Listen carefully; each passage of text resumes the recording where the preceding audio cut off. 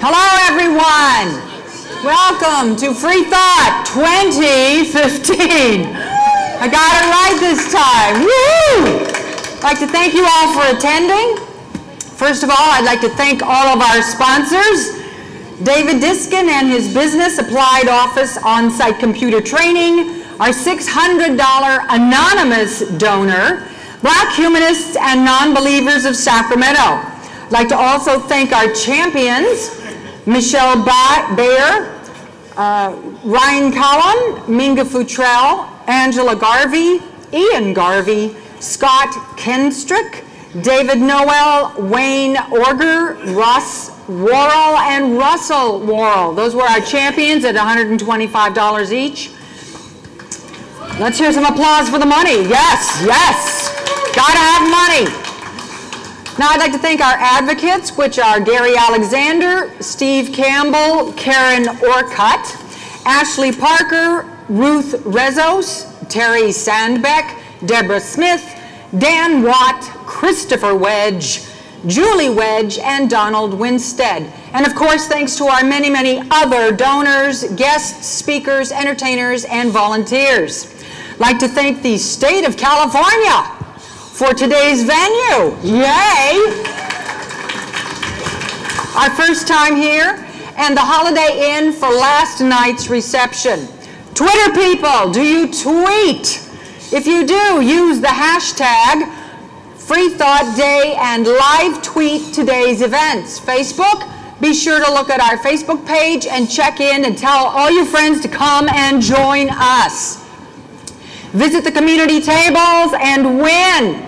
So what you have to do is complete the survey in your program, add the eight stickers from participating tables, and turn it in near reception for a chance to win one of our four gift baskets filled with over $300 in books and other goodies. Check out our authors, buy their books, and get them to sign them. That way you get them autographed right there. So now I would like to introduce our Free Thought Day chair, David Diskin. Yeah. Thank you, David. Her voice is really loud, isn't it? She does that just without a microphone or anything. Isn't that incredible? Thank you, Marie. How about a round of applause for our MC? And uh, you, you, some of you may have missed it, but a couple weeks ago, uh, Marie gave this amazing uh, one-woman play that she wrote and performed for atheists and other freethinkers. It was just the funniest and most enlightening thing you've ever seen, and I really hope she does it again. Who saw that? Anyone out there see that? It was fantastic. Marie is just so much talent in one person, one amazing person. Um, uh, this is our 14th Free Thought Day, and I'm just so excited. Our theme uh, started with uh, Sunday Assembly and, and, and, their theme, which was to spread the reason. And those of you who have shirts, you've seen that um, on, the, on the shirt and inside the program. Um, how many of you are familiar with the Facebook and YouTube celebrity called Food Babe? Anyone know Food Babe? Right? And everything that we've ever eaten is horrible and bad for you, and these chemicals and all of that, and all of that pseudoscience. And what about all the people who are wearing those bracelets that shock your auras or magnetize your ions or whatever they do, I don't know. And, and those, just, just all of that fake, stupid, and, and if I just can say, just, just crazy science that's out there, not to mention all the religious stuff that's out there about the, the lies of how our Constitution was written and what it means, and the concept of what's now called religious liberty and how this was a Christian nation or something like that. And so you already heard Susan talk a little bit about that. You're going to hear Richard Carrier at the end of the day talk about that. And throughout the two, or between the two, many of our speakers are going to touch on that concept of how you guys can be empowered to spread the reason, because we need to do that. Um, we can fight religion and we can fight the, or support the separation of church and state. We can support our secular values and voice them. And Tom Manger is going to talk about that today. Um, but if you take anything home with you, It's that you guys are empowered to get back onto Facebook and back onto YouTube and, well, maybe not YouTube because that's a pretty ugly place. Um, but at the very least, I want you to feel like you can correct people. You can direct them to Snopes. You can point out and cite your references when you do so about how wrong they are about what they're calling science. And I encourage you to do that and think about that as we listen to our speakers today. I want to thank you guys all so much for coming, especially our volunteers who have been here literally since not just 7 o'clock tonight or this morning, but, but late, late, late last night as well. Um, all of our donors uh, that, that Marie said, thank you guys so much. And uh, I just hope you have an amazing amazing, wonderful day here at the south steps of the Capitol. Thank you.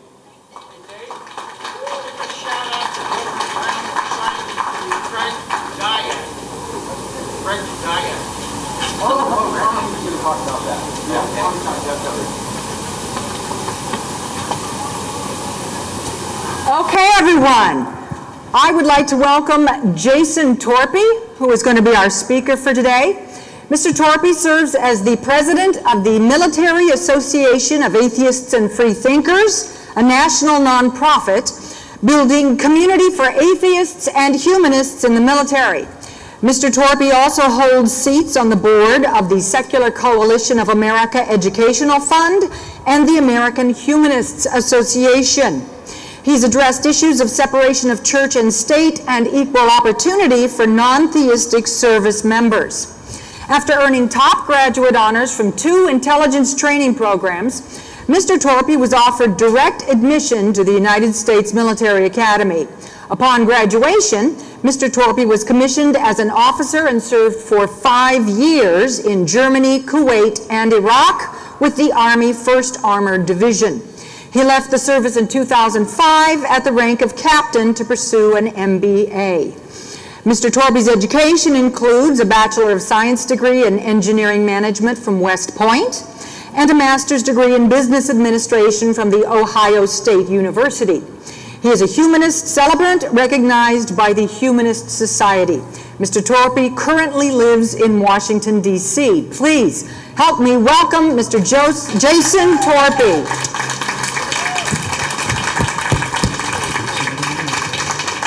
Sorry.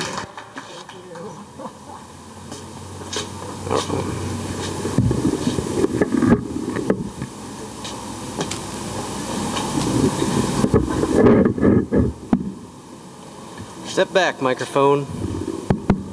Oh, uh, I'm glad to be here. I'm really excited to be at Free Thought Day. It's really awesome to see everybody here. I'm glad we got that Sunday assembly before, and then now, now everybody's here for the, for the annual Free Thought event. Thank you very much for having me, and everybody make sure to thank David Diskin and, and this horde of volunteers that have come out to make this, make this happen, as well as all those people at the tables over there too. They all do it for nothing, almost all of them, and uh, I'm glad to have them here. Sorry about that. Oh, okay. Is this better? Okay, good, good. Um, so this is, we're in front of the Capitol, so this has to be a bit of a rally. Is everybody high energy? Yeah? All right, is everybody totally fine with uh, church-state separation in the United States? Okay, let me clarify. Do you support church-state separation? Are you totally fine with how it's going? No, okay. Are you excited for the future of the humanist movement? Okay, good. All right, that's a little bit of excitement. As, uh, as he said, I'm, uh, first of all, let me make sure I don't go over here. I came from Washington, D.C. As you know, uh, the East Coast and the West Coast are a bit different. I'm all in my suit today because we're stuck up uh, on the East Coast over in D.C. I saw the Capitol, I was like, well, I guess I got to wear a suit. So, um, but I like it like that. I'm just like that. Uh, other things for the West Coast and the East Coast are different. Uh, different elements try to kill you. So on the East Coast, we suffer air and water from hurricanes and floods. On the West Coast, you have earthquakes and forest fires, different devastation. Sometimes on the coast, but very often in the middle of the country, in Alabama and Tennessee and Missouri, there are those who attribute these to God's wraths, just as ancient, uh, ancient peoples attributed natural disasters to spirits of earth, fire, air, and water. And we as freethinkers, we can see the uncaring earth as sometimes beautiful and sometimes terrible. But we can also see more. We are here at the Capitol to remind legislators that climate change and wasted resources make our earth angry. not in the way that we can pray to solve, but in a way that requires action. The higher powers we recognize ignore words and respond only to action according to the dictates of science. Are we ready to take action? Good. We also come here on Free Thought Day to celebrate our holiday en masse together to remind ourselves and the world that in the face of tragedy, whether man-made, natural, or some combination of both, we must be here to help each other.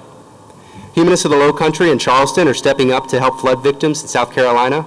The Frederick Douglass Humanist Society in Baltimore spoke as an African American humanist community for reform and reconciliation after police shootings and riots. The United States Air Force Academy Freethinkers came out for cleanup and charity after forest fires devastated Colorado Springs. As Pres President Obama recently said, prayers are not enough. We're all in this together and we need to act like it. Now I'm here to tell you that you're not alone. Take a moment to savor this. You as a crowd at the California State Capitol and at other locations year after year coming together. We should be very proud of this. The media and your elected representatives will take notice of this. And this is great. And I stood in front of crowds like this at the Capitol buildings in Phoenix, Arizona, in Harrisburg, Pennsylvania, in Austin, Texas, and in front of 20,000 people on the Mall in Washington, D.C. in 2012. That's all together in the last couple of years. And coast to coast, freethinkers are standing up and demanding to be heard. You're not alone, and we're strong together. That's my message to military personnel throughout the world as well. You are not alone. Because in the military, it's very easy to feel alone. With an oath to God when you enlist, 97% Christian chaplaincy, and humanist service, services, inclusion for our humanist services alongside those chaplains is denied actively by chaplains around the country. The Military Association of Atheists and Freethinkers connects to military installations all around the world, from Japan to Timbuktu, from Guam to Afghanistan and Iraq, and all across the United States, and here locally with Travis, Air, Travis and Beale Air Force Base. We step in front of those chaplains who are saying no, no, no, and we go to help those troops, and we give them care packages, we connect them to a community of like-minded individuals, and we advocate to their chain of command for their needs and their rights. We tell them they're not alone, and we tell them about humanist communities like this, local groups, national groups, Camp Quest, speakers, uh, speakers and authors, good products that they can plug into to support their communities, to support their values. We tell them they're not alone, and I want to ask you, are you standing with atheists in foxholes? Yeah, I hope so. Because they're all out there and they need you, and there's a big barrier between you and them, and they should be able to take advantage of these communities as well. And it's very hard when they're overseas or when they're inside the walls of their uh, gated communities. So we need to reach out to them, and I and I will continue to ask you for this as as we as I go through this. Now, I want to tell you a personal story from my own uh, perspective. Uh, I was in Monterey, California as one of my first assignments, a language school for the intelligence, uh, intelligence community. Now, I had a commander that was in charge, you know, of my, of my military unit. And the way military law works, that commander could tell me what to do anytime he wanted to. He could ruin my career if he wanted to. He could literally send me to jail if he didn't like, you know, how I was performing. Or he could do good things for me if he wanted to, to help advance my career and provide mentorship and support and good assignments. Uh, and that particular commander, again, one of my first assignments in the military, and I was 18 or 19 at the time, and he was referred to, I, he'll go unnamed, uh, just to be, maybe he deserves to be named, but I won't because it was a, little, a, while ago. Uh, he referred to him as something along, along the lines of Moses because he was, had such a penchant for evangelism to all of these troops here. You could go around, who's heard of Chick tracts? Chick tracts are basically, think the Westboro Baptist Church in cartoon form. So these little evangelical booklets were always around the company area, you know, spreading this evangelical message that's even hostile to Catholicism. I mean, you know, it's not just Christian, it's really a specific fundamentalist message. And this is something, you know, that I was introduced to the military with this sort, these sorts of issues. And it happens all the time. Uh, Jeremy Hall, again, a few years ago, he was in, deployed to Iraq, and he had a meeting of the Military Association of Atheists and Freethinkers, a local meeting in Iraq with other people. You may have seen these signs. Uh, there, there are atheists in foxholes. There's four military personnel, and they've got it written on a whiteboard. He's in that picture. It was one of these meetings. And a, a senior officer came in and harassed him and said, you know, you're not a real soldier if you're an atheist. This is unacceptable. You know, and basically dressed him down for what he was doing. Just it, just like Jews, Muslims, uh, and all the Christian groups do all the time. And he was so persecuted there in that unit that they had to send them back to the United States. Not because of danger from Muslim extremists or from nationalists or from insurgents there in the country, but because of his own Christian peers who were so hostile because he just happened to come together as an atheist community. And that's the kind of thing we've improved over time, but it's still, this culture has not changed.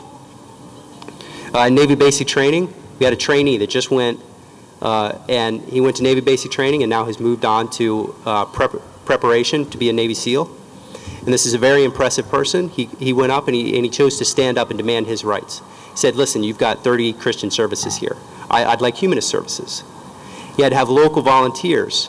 Uh, well, had to have the national community to advocate for him. And we coordinated local volunteers to be there to go on post because chaplains won't do it. There are no volunteers already in place. And you have to have certified personnel to be able to come on the installation, to access trainees, and to provide a service that they need.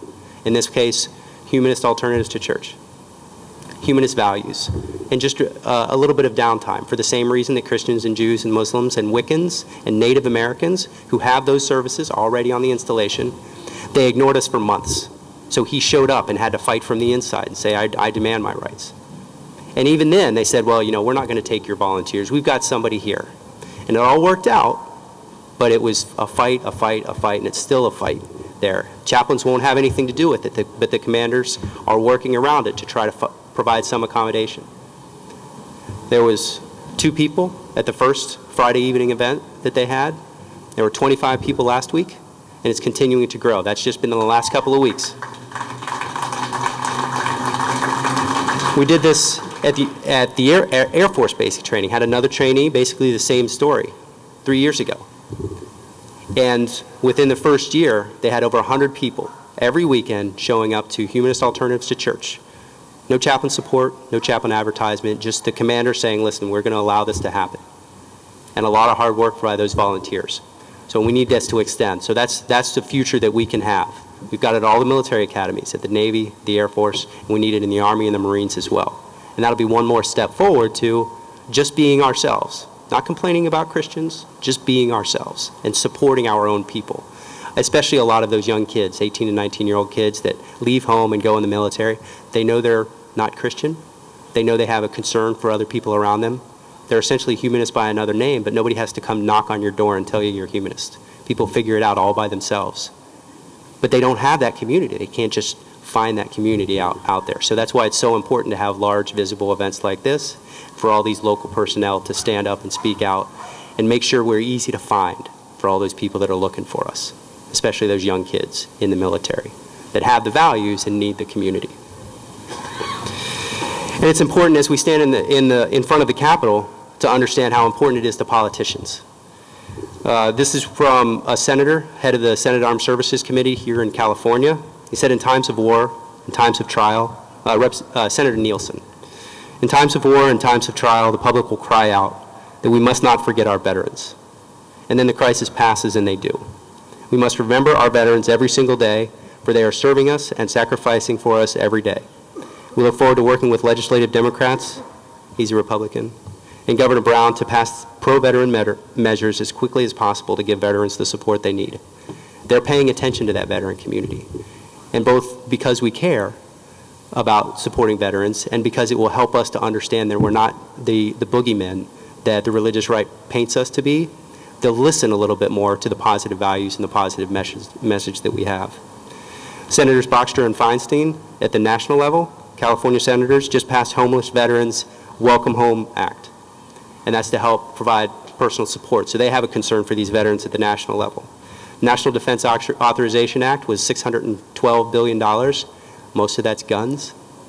But that's concerns for individuals as well. You know, it's a separate conversation. But this improved mental health care uh, and retirement pay for non-retirees. A lot of the, the provisions in there, a lot of the political fights and, the, and what they put in is to say, listen, we care about veterans. And our community needs to show that we care as well. I think you do. You've told me you care. And there's a lot of opportunities to, to reach out and, and show that more. In, uh, in 2013, the United so this is from Representative Sam Johnson, another national congressman, uh, showing some of the negative issues So when they say, hey, we care about veterans, we have to close this gap because a lot of times they're not talking about veterans, they're talking about Christians who happen to be veterans. Representative Sam Johnson said in 2013, the United States Air Force Academy made the phrase, so help me God, optional in the oath each cadet takes. And this is a mandatory oath they take just like other military personnel. And it ends with, so help me God as a default.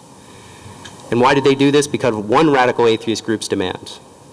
Let me be clear, Americans have the freedom of religion, but not freedom from religion. That's why I'm introducing legislation that requires congressional approval before any change would be made to military oaths.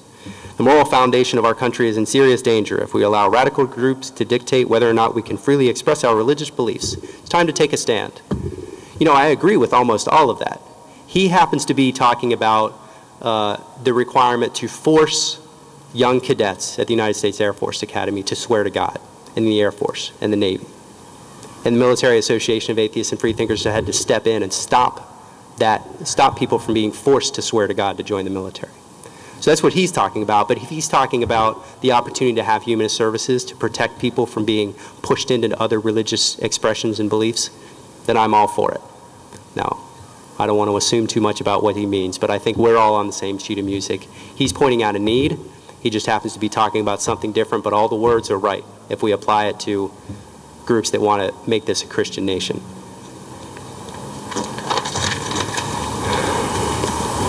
Other, other concerns that we have at the national level, culture and per, uh, perceptions that we need to change in order to, uh, in order to have our message accepted, in order to have people open their ears and listen to our communities and the concerns we have. Uh, Representative Mike Conaway from Texas, in response to a call for humanist chaplains, and we have Jason Heap is here with United Coalition of Reason. He's fighting the Navy for the opportunity to serve all service members as a humanist chaplain. Please go by and thank him for that. Because of legislation, he can't tell you much about it, but he deserves your appreciation right at the United Coalition of Reason table.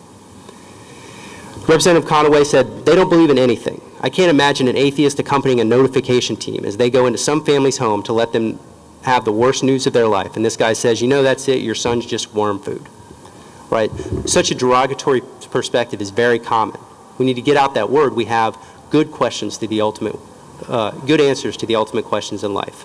We have comforting perspectives about life and death that go beyond, well, you're just dead.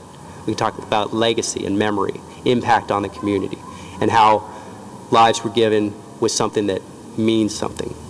A lot of these concerns, but what we, what we can't say is they're still alive in heaven. We have to say they're really dead, and then build our comfort around that, make meaning around that. And they need to understand that. We need to get that word out because they have the wrong perspective now. And this is common among uh, American Legion, uh, the American Legion, the Veterans of Foreign Wars. They seem to be groups that are intent on supporting Christians who happen to be veterans, supporting veterans by coincidence. The American Legion in particular has a, a, an official Americanism platform as part of the, one of four pillars of their political platform. It says, the nation's cultural, moral, and patriotic values have been under attack for decades, a disheartening trend that continues today, challenged by a minority of voices whose vision, you know, all of you, whose vision for America is far different than that of our founding fathers. The American Legion is dedicated to combating the secular cleansing of American of our American heritage. You know, it's hard. We don't have the opportunity to just simply lie and spin information. You know, we can't, you know, we say very clearly, our American, uh, our founders were very often Christian. And all of them got together, this, this majority Christian population, and said, you know what, we're going to write a document that's a secular government. Those were their values, and those are the values we are protecting. And we can't let them change that narrative to imply that everybody was all Christian all the time before on purpose and created a Christian nation for us.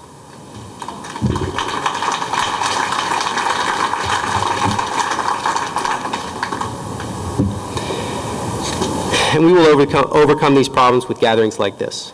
We will change these perspectives and cultures. We need these in the military as well. The infrastructure of the chaplaincy exists to put people of like mind together. These are military chaplains there. At every new installation and basic training, when young people join the military, often their first time away from home, and for, before deployments overseas to war, military commanders ensure Christianity is pervasive and prevalent. And there is a valued, valid pur purpose as Christians should be able to attend to their values in times of need. Service members draw direction and meaning that comes from having a comforting and reinforcing value system. The military as a whole benefits from providing personal services to individuals. But there's nothing for humanists. Humanists, atheists, freethinkers, all those who have non-theistic naturalistic worldview are left out to dry, uh, hanging out to dry by the military command and their chaplains. These obstacles are why is it so, so important that we have gatherings like this. From the bottom up, we need to reach out to the military community and show, their, show them they are not alone. From the top down, we need to demand that military leaders put in place services for chaplains. Chaplains refuse, then military leaders must find new chaplains or get rid of chaplains entirely. Until then, it falls to us, to all of you, I hope you would help, to fight through these barriers to reach those in need, to help atheists and foxholes. Are you ready? All right, it's not a rhetorical question. If you if you have any questions, I'm going to finish up here. Uh, you can ask questions over. Feel free to walk over to the microphone. Uh, we'll have a couple of uh, a little bit of time for that. I want to point out McClellan Air Force Base here in Sacramento is essentially closed, but you have Travis Air Force Base to the south, Beale Air Force Base to the north, and National Guard armories in the city. Military enlistment processing stations, uh, station at, at Interstate 80 and 305 has been unresponsive to our outreach these stations often have Gideon Bibles and large displays to young enlistees.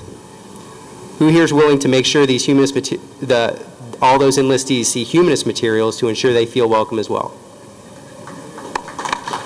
That's a real thing. You know, I, I see a hand raised. You come and find me if you want to be the volunteer that brings, that brings those materials out. And you have a Veterans Day parade right here at the Capitol on November 11th. Will, will freethinkers, humanists, freethinkers, other non-theists, will we, will we be represented? in that parade? All right, well, think about it.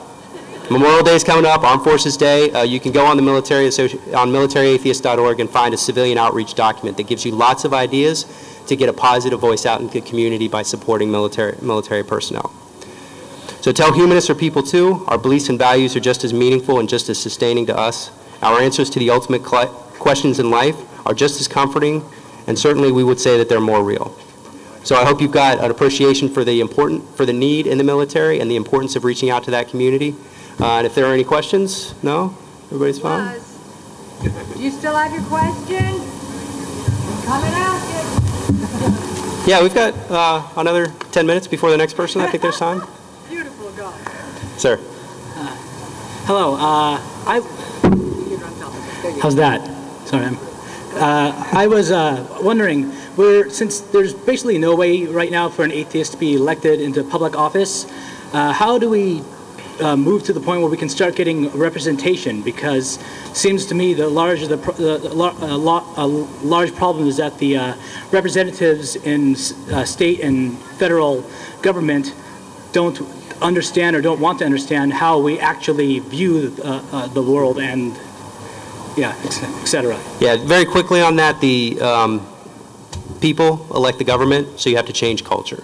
Part of changing culture, you know, as I talked about, is supporting the military and reminding them that we serve honorably, always have, and always will. Uh, also remember uh, organizations like the Free Thought, Free Thought Equality Fund.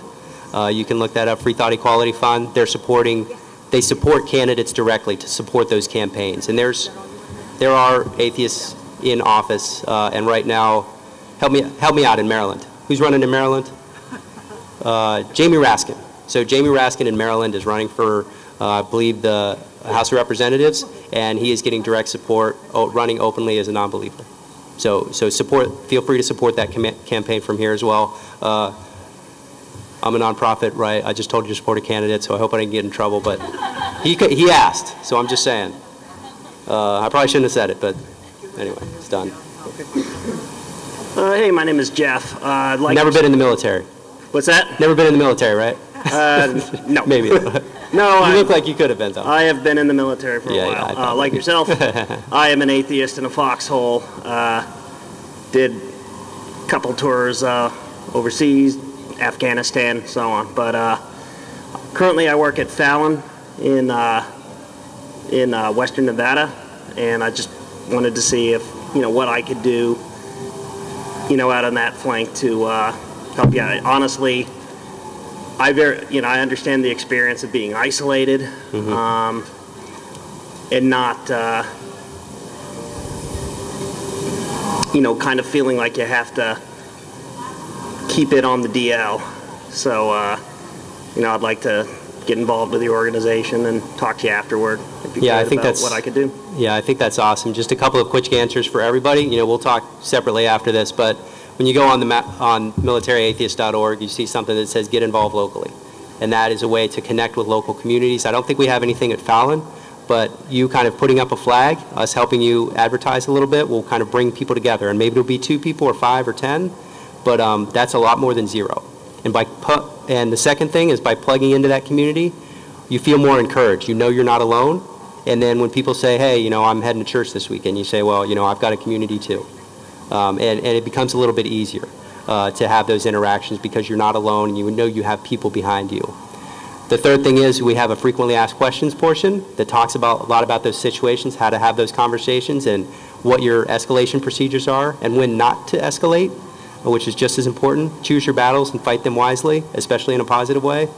Uh, so, so those informations are there as well because even if there's no nobody right there, the international network that we have allows you to plug in and you know Facebook and Twitter and and directly by email to a lot of people that are in the same situation that you are and can really advise on that um, even if they're not right there face to face. So so a lot of support there and I and I hope we can really help help out because there's too many people like you that you know aren't connected.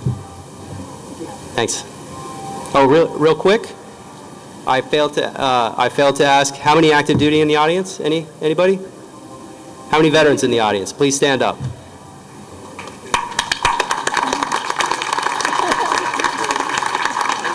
All right. Now, I got to say, that's less than I normally see. Normally, it's at least 50%, but that's still a strong community that we have, and it's a whole lot more than zero, which is what we get credit for. Hi, I'm part of city government where I live, and my question that I actually brought to some folks here today, and I thought maybe you would have some ideas about this. We say the Pledge of the Elite, uh, Pledge of Allegiance Uh-huh. before our commission meetings. Is that something that folks in the military do? Is there feelings about that? Is there support for people that just feel like that, you know, especially in its current form with the under God bit? Have you heard of any organizations that are uh, trying to either change that or get it out of there altogether? Yeah, so if I change hats for a minute, I'm on the board of the American Humanist Association.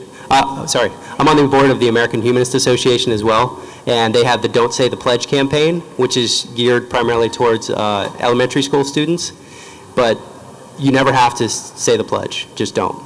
Um, and in the military, it's again, you got to pick your battles.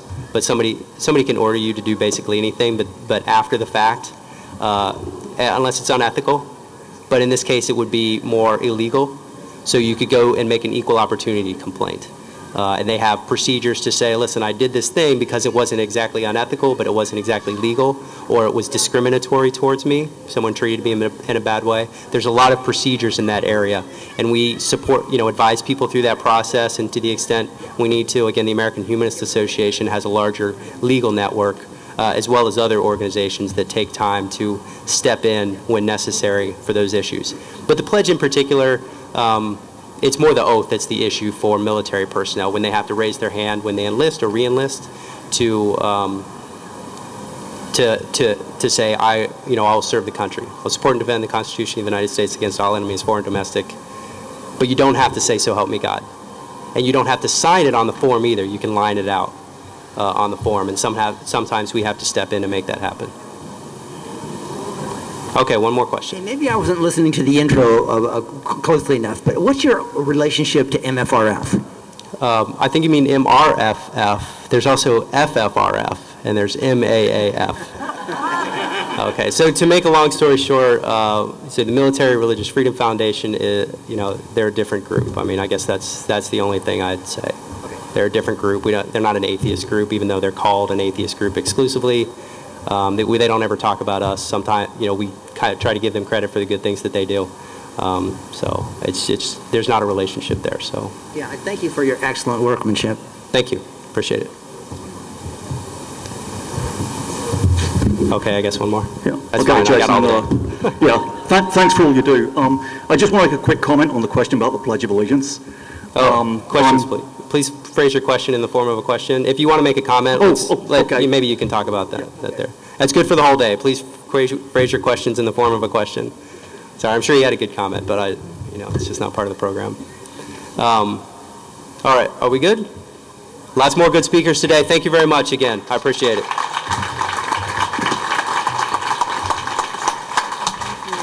Thank you. Nice job. Yes, I was going to do that. Thank you. Up there.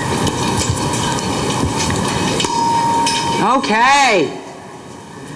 Now we're going to hear from Mr. Tom Manger. Tom is the legislative chair for the Secular Coalition for California, the SCCA. The SCCA has had a number of recent successes helping to minimize religious bias and religious privileging in new legislation. Here to tell us more is Tom Manger. Hey, Tom. Hello. So we're here today at the State House, seat of our state capital, because we belong here. Historically, atheists and agnostics have not had much of a voice in government, in, in their local communities. That is changing slowly over time, I think largely due to the internet, thank you. But um, the Secular Coalition for California, we're a state chapter of the National Secular Coalition for America. Back about this time in 2012, just three years ago, they set out to create a state chapter in all 50 states and we were one of the first ones to uh, go live. So for three years now, we've been tracking legislation as it proceeds through the Assembly and the Senate. Um, we've had quite a few successes over the year, not just because of the Secular Coalition for California, but California is a progressive state. The demographics are such that uh, you have a, a larger number of atheists, agnostics, a lot of progressives in the state. And so we've been really lucky regarding the bills that have passed over the, and the bills that have been defeated over the past three years. So just this year, every bill that we supported and we lobbied on passed. Uh, one of them getting signed just yesterday afternoon. I got a text message from a uh, cohort letting me know. And then all of the bills that we opposed died in committee, didn't even make it to a floor vote. And I'll take some credit, not much though, because again, it's, it's, it's people like you who get out, let their legislators know what they're thinking, what their positions are on the various issues. We get in there and we're kind of an official voice, but we still need you guys to uh, contact your local legislator, um, do op-eds, lots of ways for you guys to get involved. Anyway, the bills that passed this year, just a quick summary, uh, the ABX 2-15, the End of Life Option Act. That was a long time coming. There was uh, AB 775, the Reproductive Fact Act. That is a bill that requires crisis pregnancy centers to put up a notice saying that they don't offer abortion, uh, sterilization, contraception services. It also requires that they put up a notice that they are not a medical clinic because a large majority of them, they have staff wearing scrubs with lab coats. None of them are medically trained. So th this is a, a big step in the right direction, and we're going to be pushing to take this idea, this notification process, not just from the crisis pregnancy centers, but to religious hospitals. So over the next few years, that's the battle we'll be fighting. When you see uh, um, action alerts, if you guys are signed up to uh, receive them from the uh, Secular Coalition for America, please respond, let your legislators know what's happening. Uh, SB 277, the vaccine exemption bill. That was a huge victory. So in California, as written on the books, there was uh, an exemption for personal belief, which included religion. There was no separate uh, religious exemption. So when they got rid of the personal belief exemptions, the religious exemptions went out the door as well. So now all kids are required with very narrow exemptions. Now there's a companion bill called SB 792 that requires daycare workers to the employees to also be immunized, and that just got signed this week as well. Uh, so that's a big deal.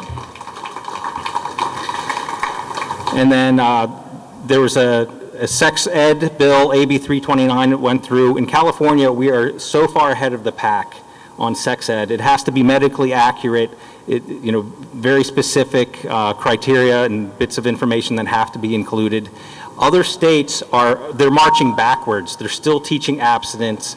They're taking away access to uh, abortion services, contraceptive services. In California, over the last three years, we've um, made it easier for women to have access to contraceptive and abortion and sterilization services. Um, obviously, the vaccinations, where other states just go in the exact opposite way. Then one of the reasons we do what we do is obviously to move forward, but it's also to push back against bills that are, take us into the other direction. And every year these bills are introduced. For example, uh, there was a bill that would remove abortion coverage as uh, part of private insurance plans. So right now, it, by law, insurance, private insurance has to include abortion services um, and they were trying to remove that from the law, and we stopped that. There was an archaic uh, piece of corporate law that allows religious organizations to hold property called corporation sole. If you ever read about it in the newspaper or something, pay attention because it's archaic, it's boring, but it's hugely important because the bigger churches hold their property that way, and they were trying to do a big end run. Uh, they're trying to expand charter schools and give um, tax credits to these organizations as well. So again, Secular Coalition, lots of other groups, you here in the audience, all of you guys helped to get this done just in the past year, and we're, we have lots more work to do. In fact, this little folder here, um, it contains a whole bunch of handouts that we're going to be using tomorrow. We're having a Secular Advocacy Day, that we're going to do here at the State House. We're going to visit all 120 legislative offices and remind them uh, what the secular voice wants, what our key issues are, where we want legislation to move in the years uh, ahead. This is the, I think we've had three lobby days, and I think this is, this is either second, maybe the third advocacy day. We don't have any specific bills to lobby on, and say we want this bill to pass, so that we're just doing a higher level uh, key issue uh, talk. But we also, this is the second year we've done a scorecard. So we have the list of all the bills that we're lobbying on, either for or against, and we take the floor votes of every single legislator, and you get a one if you voted the way we wanted you to vote, or a minus one if you didn't. And so we have a good number of legislators who got a perfect 10 for the year. And then there's those legislators who got a minus score.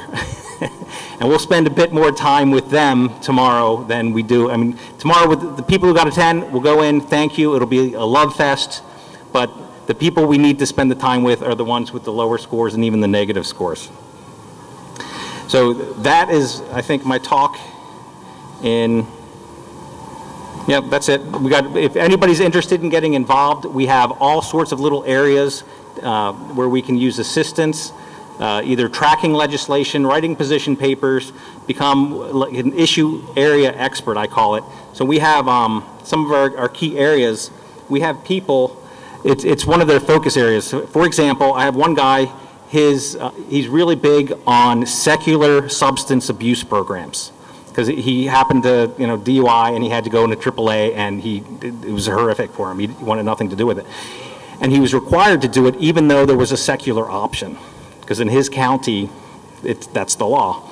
And so he's my expert on uh, secular substance abuse. If any of you guys have expertise or passion, just an interest in any key area within our, our list of issues, come forward, let me know. I just need an occasional phone call, alert me to, you know, a newspaper article or maybe something happening here in Sacramento. Because I've, I've gotten calls from, we, we have, we have our own insiders um, with the Secretary of State, and we've gotten calls alerting us to bills. In fact, uh, there was last year, I knew nothing about Corporation Sole, and I got a call from somebody saying, you need to pay attention to this.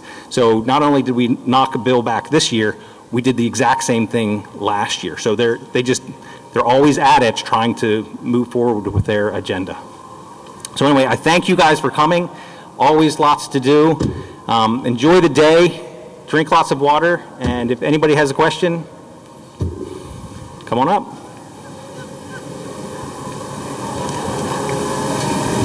Oh, no, he's leaving.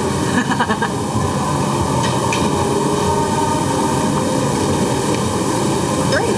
Very close to it. Uh, Thank you for what you do. Are there any secular groups whatsoever that are for animal protection issues or anti-factory farming, that kind of thing? Not that I know of, no.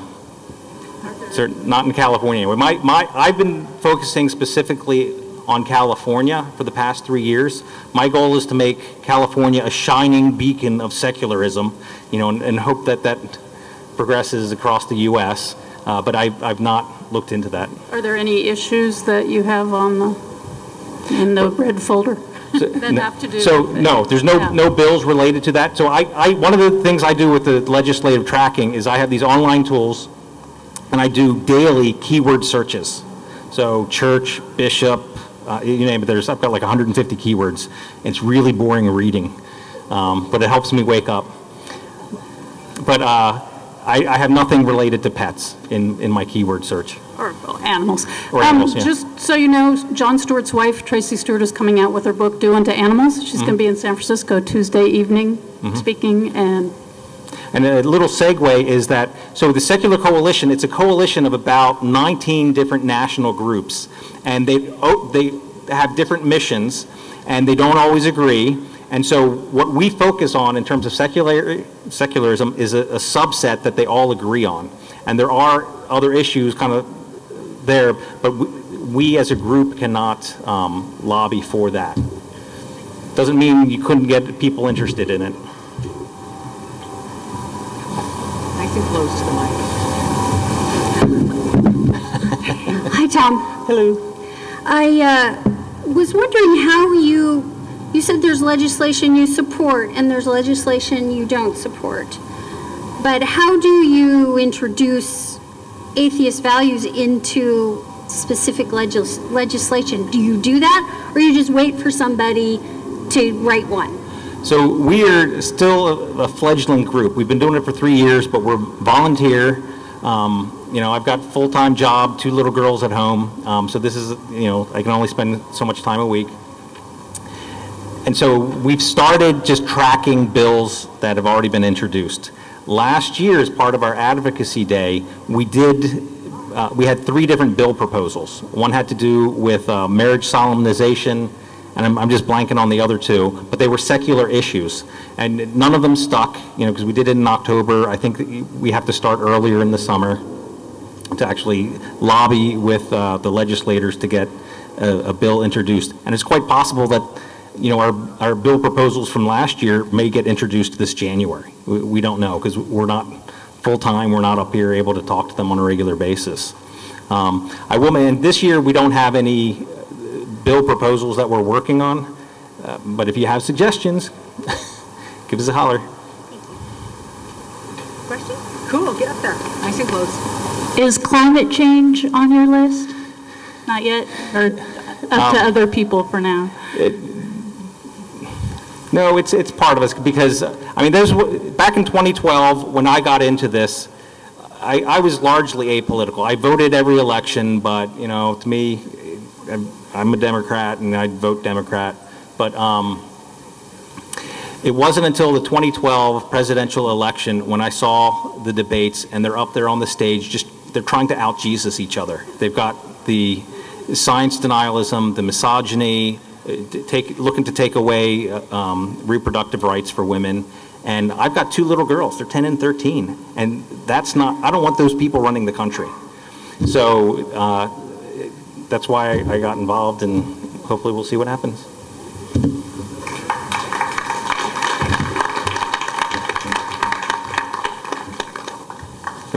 Okay, thank you.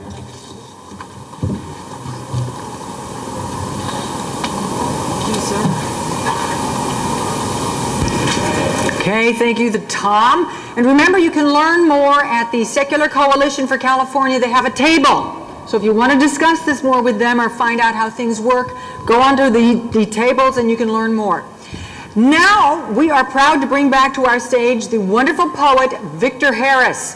Victor has been a staple on the Bay Area poetry scene for the past 12 years, featuring at various venues in Oakland and Berkeley. He was on the final stage in Oakland in 2003. Earlier this year, he performed in Washington, D.C. at the Reason Rally. Victor is excited to be part of the group of artists behind Mad Art Lab, where art meets science and skepticism. He's been writing and performing atheist, skeptical, rational, science-themed poetry for over four years. When he's not writing or performing, he is the talent behind Rochelle's Cheesecakes and won a Best of the Bay Area award from the East Bay Express in 2009. I had some last night. It is to die for. So come on up here, Victor. Thank you. Thank you. Good afternoon. So obviously that uh, bio is a little old, um, but I will be performing at next year's Reason Rally, uh, June 4th, 2016, for those of you that don't know. Uh, we're at the Lincoln Memorial. A lot of great speakers have lined up, uh, as, long, as well as a few that are still being talked to. Um, okay, so to the poetry. Uh, the name of this poem is Gorillas in the Midst. A poetic friend of mine admonished theists to let those who believe we came from monkeys act accordingly. But facts are a faith-free institution and a poor competitor in the marketplace of ideas. So I'm going to act as facts advertiser. We share about 98.5% of our genetic makeup with chimps. While we have not yet isolated the essentials of humanity, we can see some things throughout history that separates us from the other apes. Contained in that 1.5% are major accomplishments, like controlling fire, which gave us the ability to cook our food, to cook our kills, the ability to kill off bacteria that may have killed us in the past, and cooking aids in digestion by breaking down vital nutrients, which allowed evolution to shorten our intestines. It has even been postulated by scientists that cooking our food may have enabled our brains to attain their current capabilities. The wheel exists in that 1.5%, which gave us the ability to make simple machines, which enabled us to ease our load, to share the work among, among a community of individuals. Farming exists in that 1.5%, allowing a select few people to feed multitudes, allowing the multitudes to focus their energy on other pursuits also located in that top 1.5%.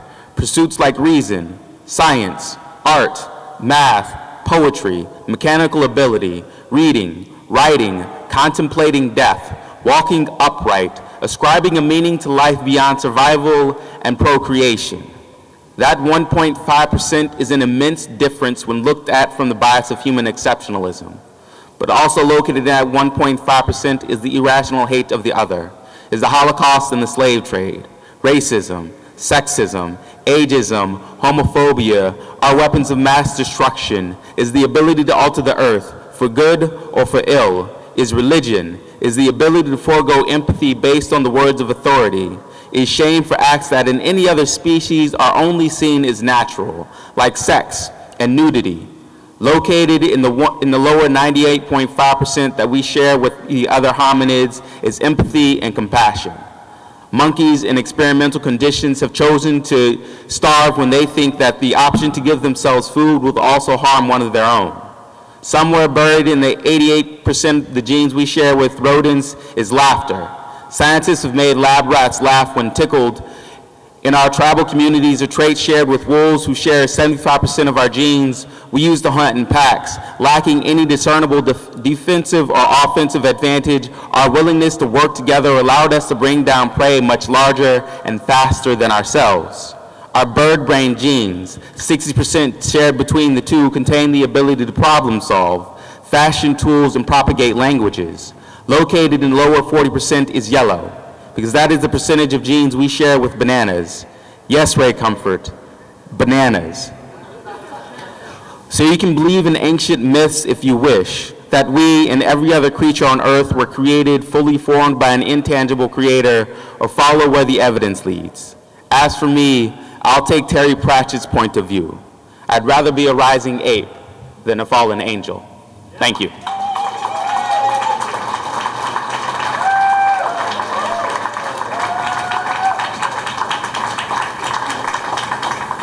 Okay, everybody, it is break time.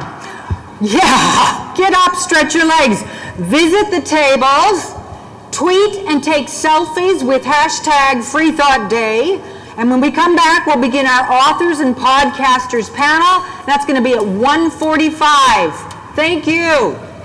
Come back.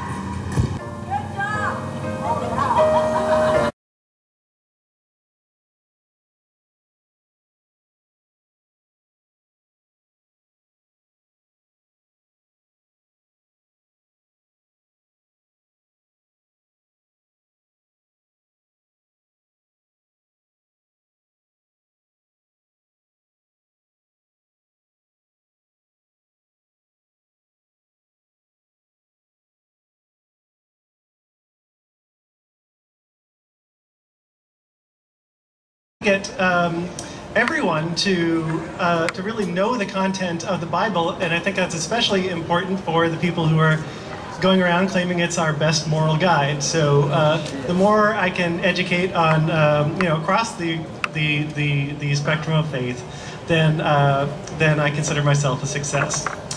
Um, so uh, you may be wondering why uh, some, some of you as, um, as, as skeptics or atheists would want to come over to my table and look at an illustrated Bible. And for one, I think any of my fans here could attest, it's just kind of freaking adorable and, and pretty hilarious. So I, I, I, I think it's something that uh, you might want to check out. I'll be at the table right over here and uh, say hi.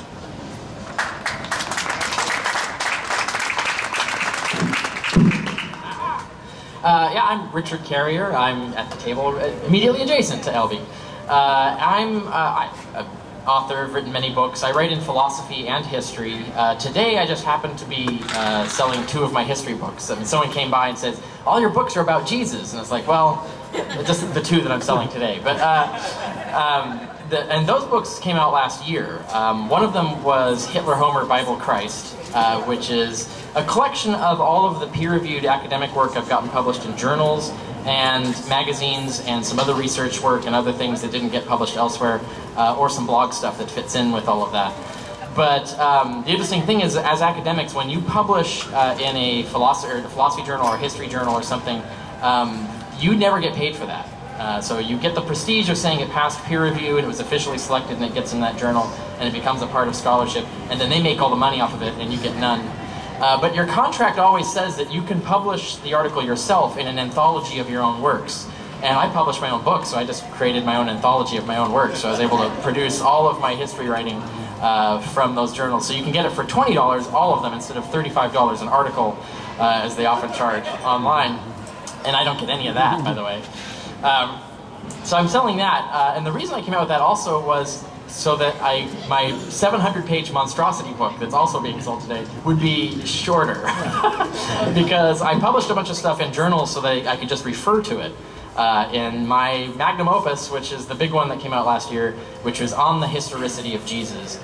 And that's the first academic press book that's passed peer review uh, and uh, past peer review at a major respected biblical studies, academic studies press. It's published by the University of Sheffield. It's the first one to argue that Jesus didn't exist that actually met all of the standards of the field.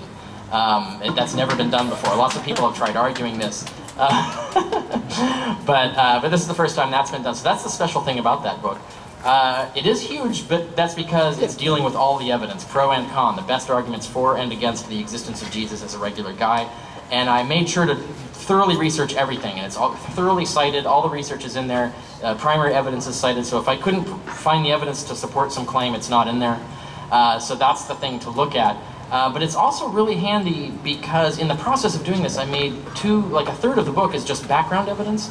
Uh, the political situation, the religious situation, the cultural situation, the literature of the period.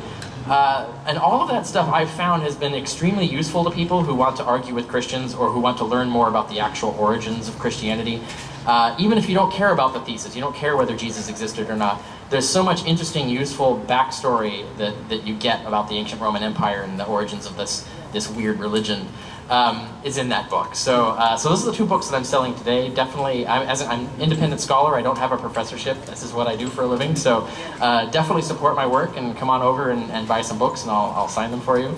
Uh, if you want to know more about my stuff, uh, richardcarrier.info is my website, uh, and that has my writings, my books, more about me, my biography, and all of that stuff is there. And also, I'm going to mention uh, I am now teaching online courses. I teach one online course a month for Partners for Secular Activism, uh, and you can find this through my About page on my on my website. And I teach philosophy courses, I teach critical thinking, I teach history, I teach biblical studies, uh, counter apologetics, if you want to learn how to defeat the, the arguments, the latest arguments by the Christians uh, or Muslims, as the case may be. Uh, I teach courses on all of those things, so you might want to go there and see what kinds of courses are coming up. I teach, you know, science and philosophy of free will. I teach uh, science and philosophy of practical moral reasoning. Uh, so I teach a lot of different courses on historical method and other things like this. So um, that's another way that I make a living and also help support the community by providing education uh, for people who can't afford a college degree, which is ridiculously expensive these days. Um, and also requires all of your time. So, uh, but anyway, uh, that's the stuff that I'm up to now, uh, and that's me, and I'll now turn it over to Greta.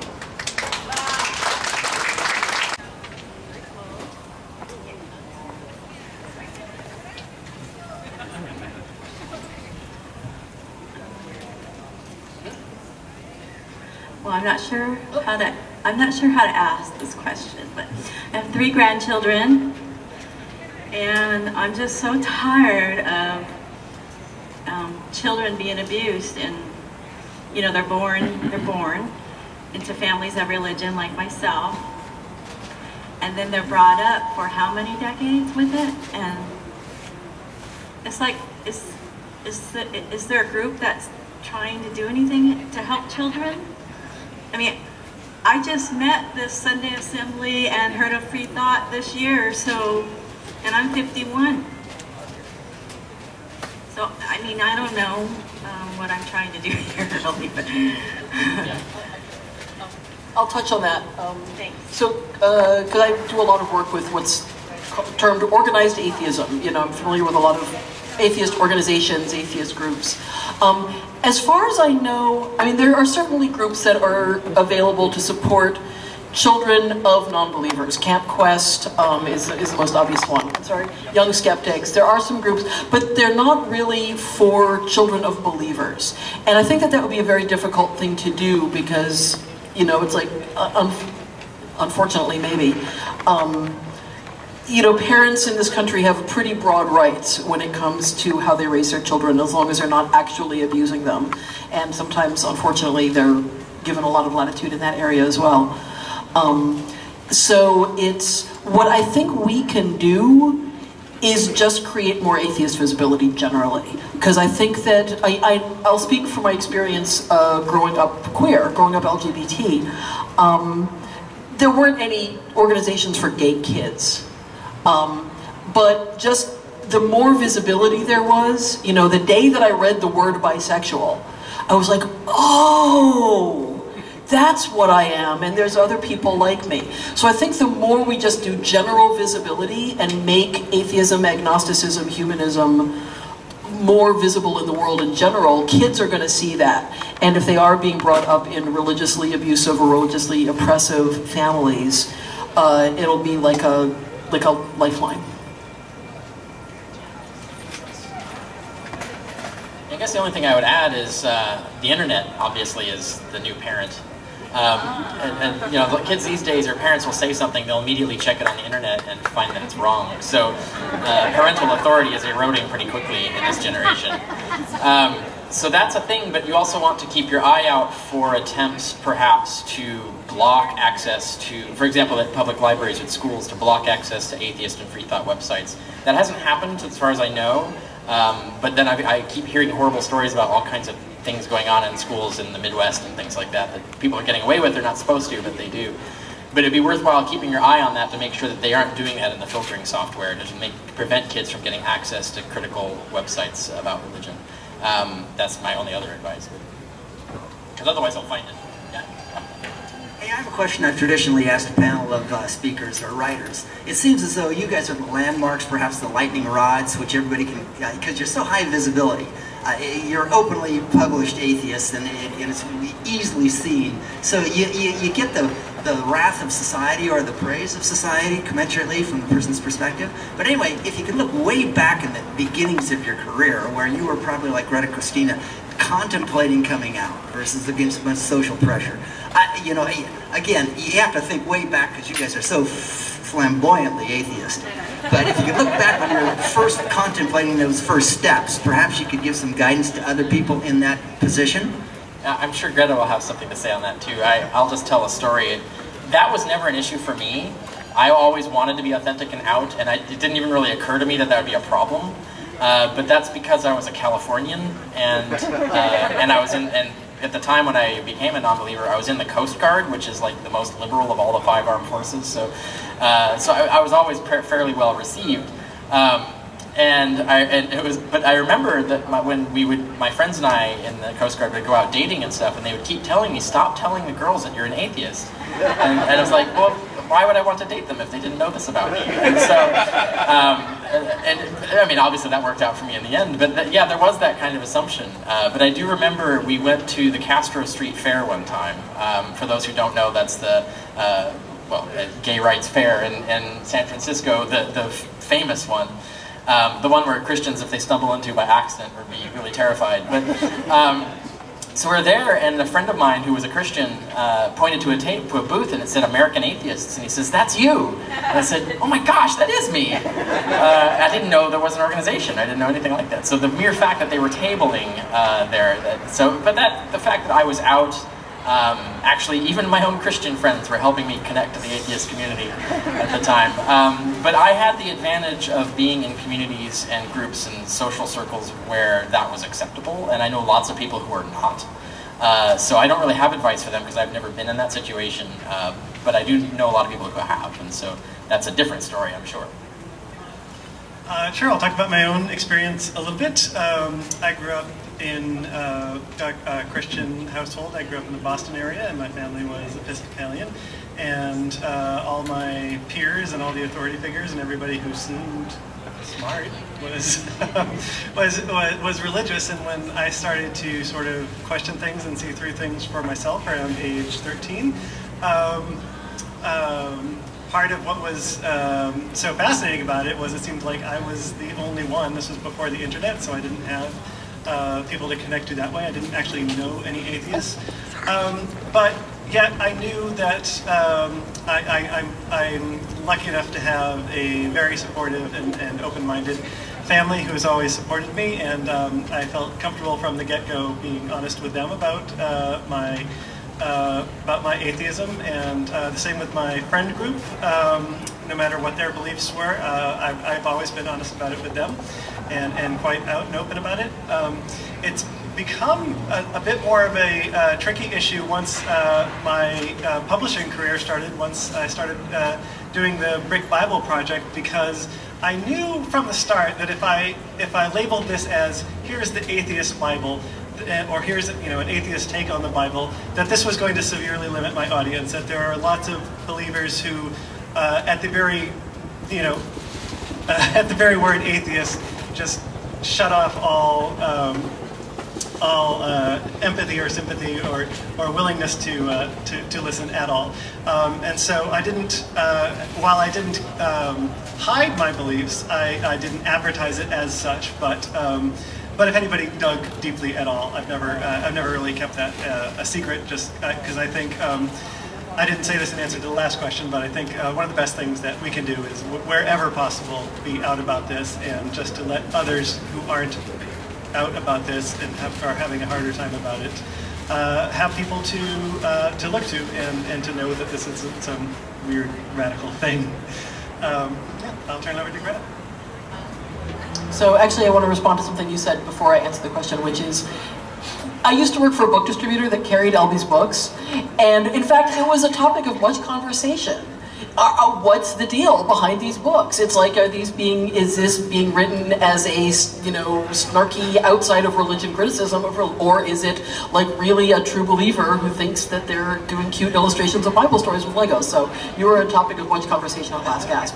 Um, so as far as, you know, advice to people who are contemplating coming out. I mean, obviously, I wrote a whole book on the subject, and it is a large subject, and there's no one right answer to it. Um, but it, in a nutshell, I would say, first of all, take care of your safety. Um, you know, make sure that, you know, you're not going to get kicked out of your house, that you're not going to, you know, you, that you're not going to lose your job, or if you are going to lose your job, that you could cope with that, you know, get your resume in order. Um, you know, if you're if you think you're going to completely lose your family and, and friends, put down roots in a, a community, an atheist community first. You know, so to basically take care of your safety first uh, before you know you start coming out. Um, but I would also say that in general, it's better to come out sooner rather than later, um, as long as your safety is taken care of, because being outed sucks. Um, also, accidentally outing yourself sucks, which does happen. It's like, you know, it's like, you know, there's stories in the book about, here's how I came out, I hit reply all on the email. Facebook changed their privacy settings again, and I thought I was just talking to a few friends and I was talking to everybody. Um, and also just being closeted, I think this is very important to remember. Being closeted sucks. There's a lot of research on this, especially on LGBT people, but also on atheists. Being closeted does real damage. It, it does real psychological and emotional harm.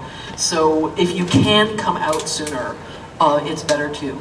And, you know, obviously get support, tap into atheist communities, atheist organizations, you know, just atheist, other atheists online. Um, having that support makes a big difference. And as far as my own experience, I mean, I also was fortunate uh, that you know, my family are all are non-believers, so they were like, woohoo! Um, and I was already blogging, and I was already writing a lot of stuff about my personal life. So once I did let go of my religion, it was just kind of this natural step to to start writing about. I was writing about everything else. I was writing about my sex life and you know whatever.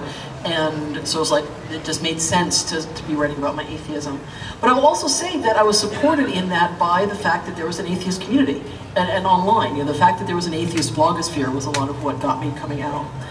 Um, and there's actually one quick thing I want to say is about being a lightning rod, um, which is, you know, it's true that, as LB was saying, that those of us who do come out um, earlier, you know, there's a certain degree to which we, you know, we get all the horrible, stupid, ridiculous questions. Um, um, and sometimes we get abused. Um, but I've actually been pretty lucky. I haven't gotten a ton of abuse uh, about being an atheist. I actually get, by an order of magnitude, uh, more abuse and more really ugly, hateful, scary, threatening abuse um, from other atheists who hate me because I'm a feminist than I do for religious believers who hate me because I'm an atheist. Those are the people I'm actually really scared of. Um, are the people, the atheists who hate me, who hate me because I'm a feminist. Um, and I get death threats from these people. Um, and and I get very little of that from religious believers. So I think that's that's something when we're feeling superior about oh the terrible religious believers who like hate atheists. Um, I think that's something to remember. This looks like t-shirt today, but I already used that two years ago, so it was a little a little too much. Um, well, it's never too much. Anyway, I want to pick up on something you said, which was regarding those who are try, struggling to break free and are then encountering this fear of death. And I think it's an inverse function of age. I, uh, I was taught in elementary school about Ur of the Chaldees and all that crap, which sort of indicates we were all descended from there. These are the all the same people, of course, who believe in Hamitic descent and all that sort of thing. I wasn't aware of that at the time. But by the time I got into high school, I was lucky enough to share a desk with another boy who actually went on to be a famous journalist, but who is now stone deaf, unfortunately. But anyway, he turned to me in a, in a scripture lesson, the one per week that we had, and he said, Bill, I don't believe in God. And I was taken aback because I, in spite of my father being an atheist, which I didn't know at the time, I was imbued with this elementary school education. But I started thinking when I was 12, and by the time I was 13, I had decided that I agreed with him. And so I've been an atheist since the age of 13. I discovered humanism much later, later in life because I didn't know the term. Uh, but I believe that my view at that time was that death was not scary because I was only 13 and there was a long, long way to go before I was going to be, uh, barring accident or severe illness, before I became a candidate for that final exit. Um, I'm now, I now be 80 in December, and I'm not the least bit scared of death. I, I like the Buddhist idea of nirvana, which is simply a state of nothingness. There was a state of nothingness, as far as I'm concerned, before I was born, and everything simply reverts to that state when I die. I just hope I don't die in pain, but uh, I have no fear of death, although I have done things that preserved my life. I had my life threatened at one time, and uh, through uh, the amount of chicanery, I managed to, to extricate myself from the situation. I did not want to die then because I had so much more to do and to learn and so on. But that is an instinctive reaction. So I do believe it's inversely proportional to age in the general case. That's you. Um, all right, all right. Um, so yeah, I mean, it's. I'm not sure. And you're talking about like how age affects how we feel about death and our concern about death, and. I, not, I would actually be interested to see if there's research on that because um, I don't know how that works. It, if I was going to guess, I would guess that it's actually a bell curve. It's like younger people are not that scared of death because they're just not thinking about it. And older people are often not that scared of death because we've had time to think about it. Um, and time to come to terms with it. Um, and that it's sort of the middle of the life where it's like, you know, I know that, you know, when I turned 40, I had this major midlife crisis about, you know, hey, death, what about that? Um, you know, if I want to do things with my life, I need to do them now. And um, and not, I, I, knew I was going to die before I turned 40, but there's something about having it stare you in the face. Um, but I don't know. I don't actually know if there's any research. What I do know, and this is interesting, is that uh, there is research saying that people who are very religious and who rely heavily on their religion to get them through difficult times are actually more likely to do heroic end of life measures in the last week of their life. They're more likely to try to do things to put death off. Uh, they're less likely to be prepared for death. They're less likely to have like living wills in place and, you know, to be prepared. You know, I've, you know, legal preparations, financial preparations. And what that says to me is that for all the, all this talk about how religion provides this comfort of death, in the face of death, I don't think it actually does. I think that what religion does is it puts the fear of death on the back burner. And it lets people avoid thinking about the fear of death um, rather than actually grappling with it. Um, you know, because if, you know, when, you know, if, like in their last week of life, they're saying, no, please do heroic measures, please keep me alive at all costs, that tells me that they're actually more scared. Um, and so again, I, I really, it, that makes me think that this idea that a lot of atheists share, that religion sort of has dibs on death, um, I, I, think it's mistaken. And um, I, I would like us to not think that.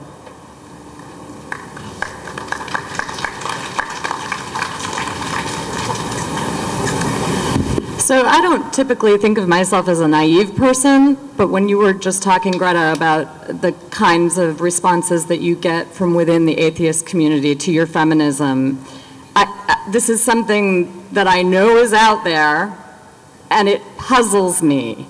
I do not understand how humanists cannot embrace feminists. And we talked a little bit earlier on the side about the lack of kind of empowerment of women's voices in the atheist and humanist movements, that it tends to be a, a boys' club in terms of who gets the stage and who gets the publicity. So I'm just wondering if any of you have some commentary on what you think the source of this anti-feminism is in a humanist movement. That's a big question. Yeah. Anybody? I'm still trying to figure that one out. Um, yeah, it's the work in progress.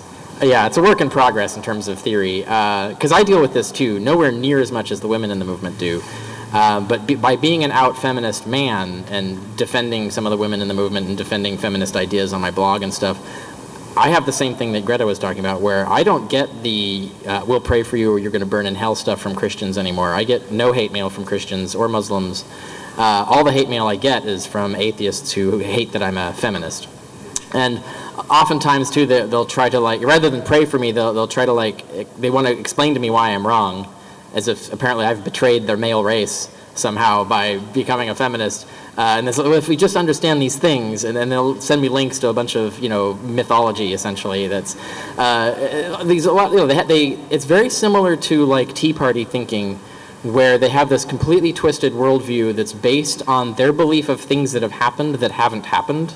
Uh, so they have all of these false myths of things that have happened in the world that are horrible, and it's all feminists' fault.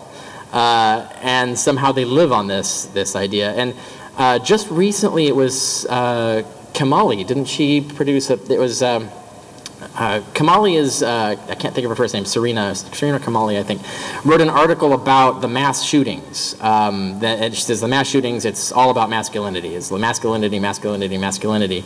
Uh, and analyzed over like the last 10, really like 15 years, most of the mass shootings have been based on guys who felt like uh, women were rejecting them, and that was actually the motivation for their mass murder. Uh, and there's this whole ideology that's developed around this um, that's I could go on a whole lecture about. They, have got a whole terminology. They, it's very much like a religion, except it's a secular religion, uh, where they have this whole idea of alpha males versus beta males. Um, they have this. They have terms like normal fag, which refers to guys who get laid uh, and like take showers and, and like live normal lives, and, and they they hate them because those guys are like colluding with the women to take away the sex that they're somehow owed. Um, and, and it's this, there's a lot more to it than that. That's just like tip of the iceberg of this bizarre labyrinthine worldview. And it, but it's, it's crystallized, it's common. You find it all over the internet. You find a lot of people are, are buying into this anti-feminist ideology. Um, and it's kind of scary in that sense. And I'm only just now like trying to explore it and study it and figure out like where does this come from. Uh, her theory is, and I mean it's partially correct, I'm sure, is that it's about male privilege, essentially, that, that men feel entitled to be on top and in charge and owed things. And then when you get a more egalitarian society, obviously now they have to compete on equal terms with people and they don't like that, and so they blame women for it. Um, that is not a complete explanation, but it, has something to do with that. Uh, and so there's a lot of this thing going on. But also, I find a lot of the anti feminist atheist attitudes are often very tied to racism, sometimes tied to latent homophobia. Um, so there's a lot of these trans oh transphobia big time yeah uh, and so uh, it seems to be all connected together as some sort of like I don't know an atheist version of conservative Christianity in a way. Um, so this is a thing. It exists. It's growing, um, and and it's a little weird. Uh, and so a lot of people don't know about that this thing is going on. Um, one place to start following up on it is uh, David Futrelle has a website called um, uh, we, Hunted we, Hunted the Mammoth, which is based on one of these rants where they said we're, we're superior to women because we hunted the mammoth. But um, anyway, that's not even a joke. But uh, I have I have never hunted a mammoth, but then that must make me a beta male. But um, so, uh, but anyway, David Futrelle's website, We Hunted the Mammoth, he's basically a, kind of like a reporter who keeps reporting on this movement and, and their websites and their activities and stuff. So you can just go back and just read years of his back blogs. You can keep reading his new blogs and stuff. Just to, you'll start to get a sense of what this is and that it's a thing and what they're talking about. And they are predominantly atheists. There are some Christian conservatives amongst the movement, but it's mostly an atheist movement. Um, but that's the place to start to figure it out and learn more about it. Do you want to say anything, Albie? Uh, sure, I'll just add that um, I've certainly seen um, uh, a lot of the same things that um, Greta has had to deal with and that Richard is starting to have to deal with as an outspoken feminist. I'll uh, say that I'm really happy that our author panel this year is uh, comprised of three very strong feminists. and, um, and finally, I want to say that uh, I think it's very important that we in the um, secular, free thinking, and atheist community um, speak out about this and say something about it when we when we see it going on, um, whether in person or online. I think just as we would hope that uh, religious groups, uh, you know, Christians or Muslims, we would hope that the uh, more moderate among them would uh, denounce the um, the extremists, or you could just think about it as the the kind of good people denouncing the assholes in their group. Um, but yeah, uh, uh, it's true. There are assholes in uh, the atheist movement, and it's important that. Um, that, that uh, even though they're loud, they, that we make sure they're not, uh, they're not speaking for us, and that, um, and that we call them out on it. Uh, so yeah, everything, everything that they said, everything that Richard said, everything that Albie said. Um, I would add, um, and certainly I want to really echo the thing about speaking out. It's really important. It, it helps hugely. It helps more than you will ever know. Um, you know, every everybody who every any time anybody says online or in a, wherever in person, you know, ridiculous anti-feminist things, it really helps a lot to, to have it pushed back against. Um, as to the question about why atheists are doing this, um, I, I think it's important, first of all, to remember that atheists are people, and this is a thing that's happening everywhere. Anti-feminism is happening everywhere. Um, anti, you know, racism is happening everywhere. Transphobia is happening everywhere. You know, homophobia is happening everywhere. Classism is hap- happening everywhere. And atheists are human beings. Weirdly enough, humanists are human. Um, and you know, I think that we kind of need to let go of this little superiority thing that we have sometimes. That it's like we figured out that there is no God, and therefore we're right about everything else. Um, you know, we're human and we're part, we take part in human culture and, you know, it's, you know, it's not just like the hardcore anti-feminists aren't just the problem. You know, it's, we are all the problem. We all have internalized sexism, racism, etc. And I think it's our job to not pretend that that isn't true. As to why the really hardcore anti-feminists, the really extremist, uh, what they're called men's rights activists, which is a really Orwellian term for them. Because you know what, feminists are actually very, you know, care a lot about how gender roles damage men as well as women and, you know, damage people who aren't on a gender binary. So, but anyway, as to why, because they are largely atheist, which is weird, my theory is that there's a lot of outlet if you're religious. There's a lot of outlet for misogyny. You know, it's like there's a, if you're a Christian or a Muslim or you know if you you know if you're pretty much any religion, there's a way for you to be a misogynist jerk. Um, and atheist kind of it sort of has to have the religion stripped away from it and just be it be itself. The hatred is just itself. Uh, hello. Uh, I've I've heard the uh, expression the uh, craziest voices are often the loudest. So I was wondering if you thought that the anti-feminism feelings are related to the uh, idea to the uh, most when people a lot of people when they think of feminists they think of really loud anti-men uh, men hating women who are or people who say things that are just diametrically opposed to reality. Like I heard a, uh, a French feminist saying that E equals MC squared is sexist. Uh, yeah. Okay. So, so, here, so here's the thing you have to remember is it, it's not so much that the most ridiculous voices are the loudest. It's that the most ridiculous voices are the ones that get focused on as straw men by people who are anti-feminist. You know, it's like, are there some feminists who have said ridiculous, outrageous, wrong things? Yes, of course there are. Um, but first of all, there's also, there's a lot of mythology, there's a lot of just made up crap about things feminists have said that are just literally either not true or like taken, it's like, this character, this fictional character in a novel said this thing and supposedly this represents what all feminists really think. Um, um, but it's, what's important to remember is that it's not feminists who are putting the ridiculous forms of feminism front and center. It's anti-feminists who are doing that because it's easy to fight with that and you don't have to fight, that way you don't have to fight what feminism, 98% of feminism really is. Yeah, the, the only thing I would add is from a, a different way of answering the question and a different angle is and I've made this point before, because um, sometimes people ask, like, oh, is this growing? Is this, why is this suddenly becoming such a huge problem? Um, and I think it is a symptom of the fact that the atheism movement is growing. So if you have like a small group, and let's say like one out of a hundred of them are these these weirdo anti-feminist assholes, and you only have a hundred people, that's just one crazy. You can dismiss the one crazy. But if you have a hundred thousand people, now the same percentage people, even though it's the same percentage, it hasn't changed. Now you're looking at a thousand of these guys, right?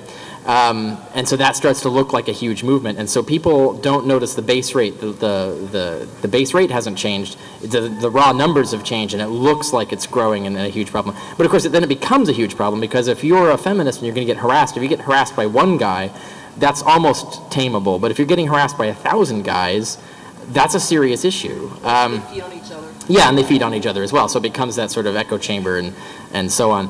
So it is a symptom of the fact that the atheist movement is growing, and it, for that reason, we need to be paying more attention to it and finding ways to uh, adequately address it.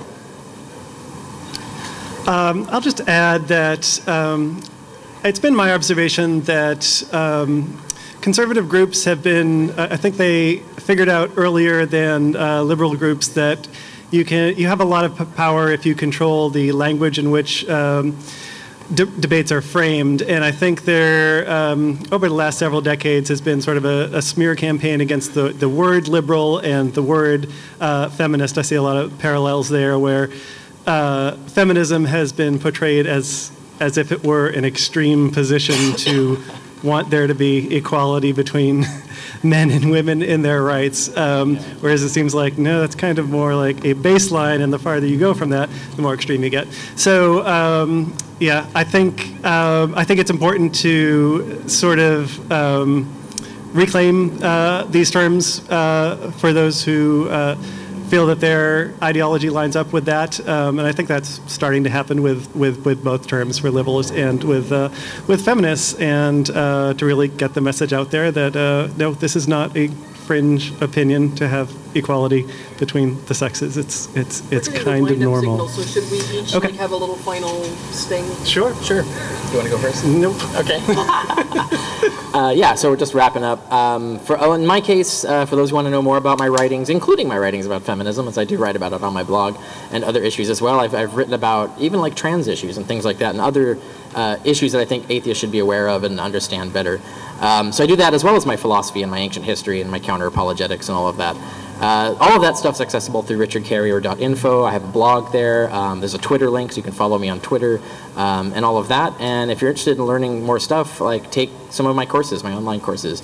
Uh, in fact, I'm actually thinking about doing a kind of, introduction to feminism for people who don't know about it, uh, internet feminism in particular. So I might do a course on that next year.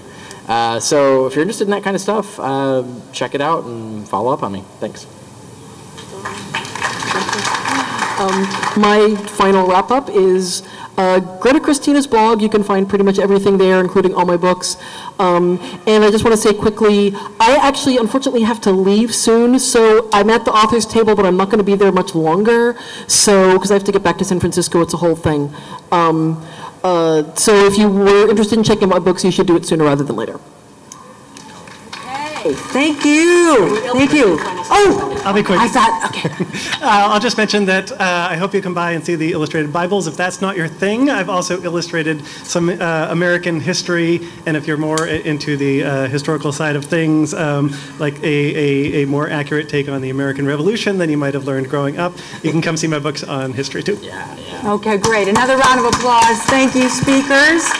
And of course, they do have their tables, so go over there, get their books, get them signed.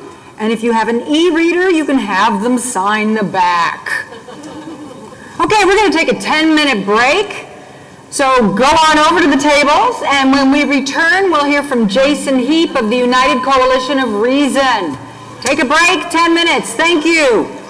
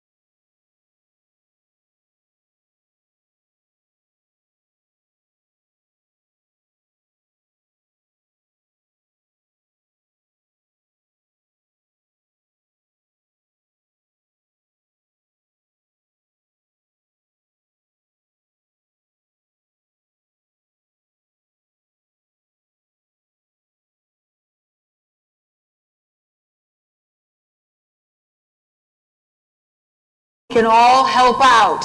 Ladies and gentlemen, David Diskin. There you are. Thank you Thank you again, Marie. Um, one of the most important things that we can do in the secular community is ensure that the secular community continues to grow.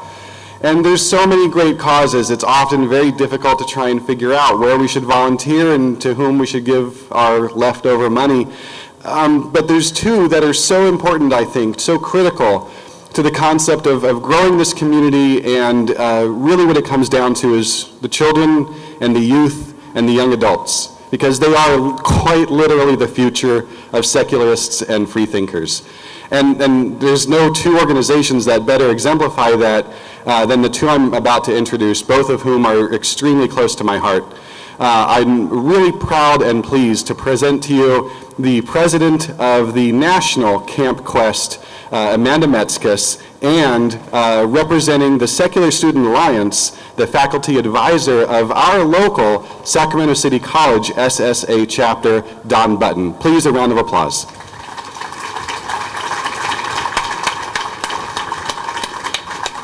They're both going to say a few things about their organizations and encourage you to help, and then we're going to open up to questions so you can learn more about what they do. Thank you. Thank you, David. All right, we're going to adjust the microphone here because I'm very tall. Maybe? Haha, okay. Um, so David keeps trying to promote me to fancier titles than I, than I actually have. I'm the executive director of Camp Quest. Uh, we also have a board chair, Sean Jeffers, who you may have read about in this most recent American Atheist magazine. He is an Eagle Scout who was, um, he, he left the Boy Scouts of America due to their bigotry against gays and atheists. Um, and so he found Camp Quest back in 2003 and has been a volunteer with us ever since. And that's kind of what I want to talk with you guys a little bit about today. You know, Camp Quest is about fun, friends, and free thought, and it's for campers ages 8 to 17, but it's also for adults of all ages. And we have volunteers and supporters who get involved with Camp Quest by coming to camp and serving as a cabin counselor, by uh, promoting Camp Quest in their communities to their local groups, making sure that families out there with kids know that Camp Quest is here, by, uh, by supporting us financially. We are a 501c3 and donations are really important to us being able to expand our reach to serve more campers around the country. And I want to tell you a little bit about why what we do is so important. And I, I, think for me, it's that we build a safe place where secular people can belong. And when you find some place that you can belong, then you can grow. Then you can push yourself outside your comfort zone. You can do things that you didn't know that you could do before. And so I, I want to kind of share a little story with you from Camp Quest Northwest in Washington State a few years ago. I was up there as a counselor and you know, we have campers this whole age range, 8 to 17, and sometimes the teenage campers are a little bit like too cool for everything, right? It's like, it's hard to get them to engage sometimes because they're, they're, they're a little bit busy making sure that they're not doing anything that makes them stand out in front of their friends or kind of reveals that they're dorky.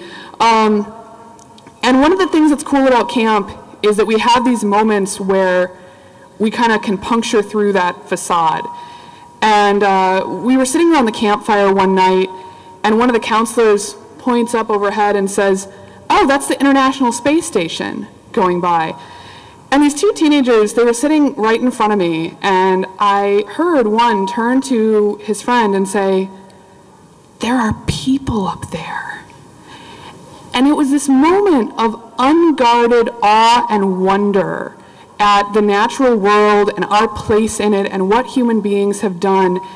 And for me, having those moments where kids and teens and our volunteers get to share that unguarded awe and wonder about the universe and us being monkeys in shoes running around in the universe, that's what motivates me. Um, Camp Quest is also a place where we teach kids that it's okay to question in fact, not just okay, you should. You should question authority. We tell them that. Sorry, parents, you have to deal with that afterwards. Um, but you know, that leads to some really cool things happening too. One of my campers, I tend to be a counselor for the oldest girls when I'm at camp, and one of my campers at Camp Quest, Ohio, a few years ago, she came back to camp. She'd been there the year before. And her mom tells me, she says, get Taylor to tell you about what uh, happened at school. And I said, okay. So Taylor was in class, and two of her classmates, not necessarily close friends of hers, but fellow classmates, decided they didn't want to say the Pledge of Allegiance, and they sat down. And the teacher sent them to the principal's office and punished them. And Taylor said, You can't do that. That's against the law. They have the right to not say the pledge as long as they're not being disruptive. So Taylor got sent to the principal's office, at which point she let the principal know, you know, respectfully, but, you know, told him this is the law, that, you know, we're allowed to opt out and not say the Pledge of Allegiance if we don't want to. And um, the principal, you know, argued with her, and she went home and she called the ACLU. And then the ACLU called the principal and let him know, you know, hey, these, these students have the legal right to not say the Pledge of Allegiance. And what I think is so cool about that story is it's a story about a student standing up, not just for her rights, but for the rights of her fellow students who didn't know that they couldn't be punished for doing what they were doing. She knew, and she had the confidence to say something because she had been to Camp Quest. And so, you know, that's something powerful that happens when you give kids a safe place and you tell them, you know, it's okay to question and it's okay to stand up for what's right. When you see something going on that's not right, you can say something. And so that's kind of, those are sort of two stories that for me illustrate what Camp Quest is really about. You know, we, we're inspired by a few key values. We want to cultivate empathy, encourage everyone to challenge themselves, engage wonder, and question authority. And I think that's, those are some good values to live by for our campers, but also for our volunteers and our adults, and that we can take back to our regular lives outside of camp too. We can all use these things to live kind of more joyful, fulfilling, ethical, fun lives in this world that we have right now. So how can you get involved? What, how can you be a part of these values and bringing these things into your life? One thing you can do is you can go to the Camp Quest West tent uh, and you can sign up on their info request thing. You can say, hey, I'm interested in sending campers. I'm interested in volunteering. I'm interested in spreading the word. I'm interested in donating. And you can get plugged into what Camp Quest is doing right here in California. We had 1,120 campers attend 17 weeks of camp across the United States last summer. 200 of those were here in California at Camp Quest West locations in uh, Nevada City, not too far north of here, and in Wrightwood down near Los Angeles, and it was about 100 at each place. So you have one of the largest camp quests in the country within an easy drive from you guys. So that's an awesome, awesome opportunity to get involved, meet these kids, see the really, really cool things that are going on in their minds. And you know, our counselors, they come back year after year, I think, because they go to camp and they learn, you know what, the future might be okay. If these kids are the future, things might just be all right because they're awesome. So I would really encourage you to get involved here with Camp Quest West. Uh, check out the table over there. They're doing some cool activities for kids today. They're making rockets out of soda straws and they're making uh, tinfoil boats and uh, they're making towers out of spaghetti. And you can challenge yourself, even if you're an adult, to see if you can make a taller tower than the kids over there have already made. See, see how you measure up.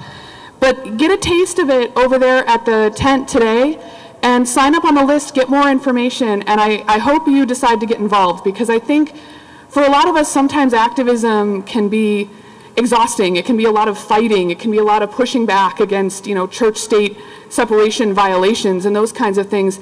This is a kind of activism that can be fun and rejuvenating and can, you know, just really bring, bring a level of joy to, to participating in a secular, humanist, free thought community. So I hope you all will, uh, will take part. Thanks.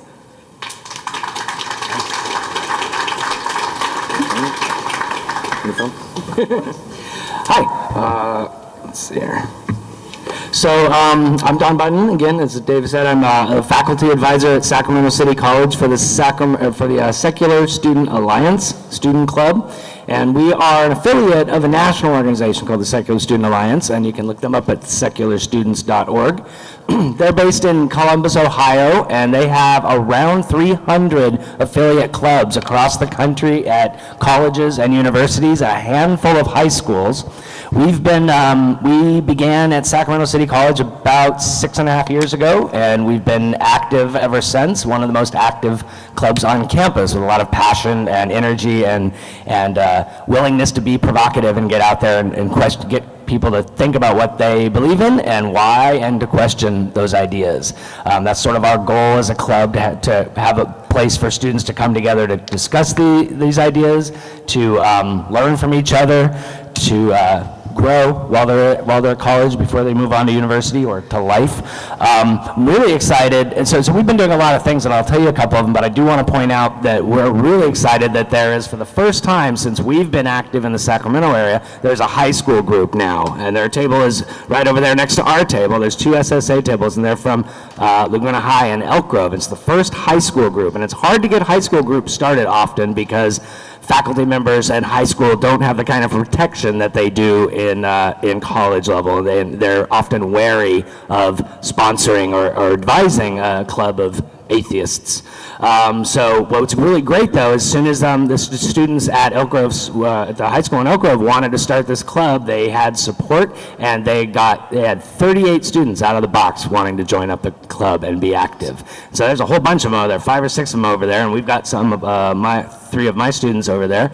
Um, shout out everybody. Hey Ralph, Shelby, Daniel. So go check those out. But anyway, give you an idea of what we do at City College and what we try to achieve. Uh, we have uh, brought guest speakers, and most of those guest speaker events have been open to the public.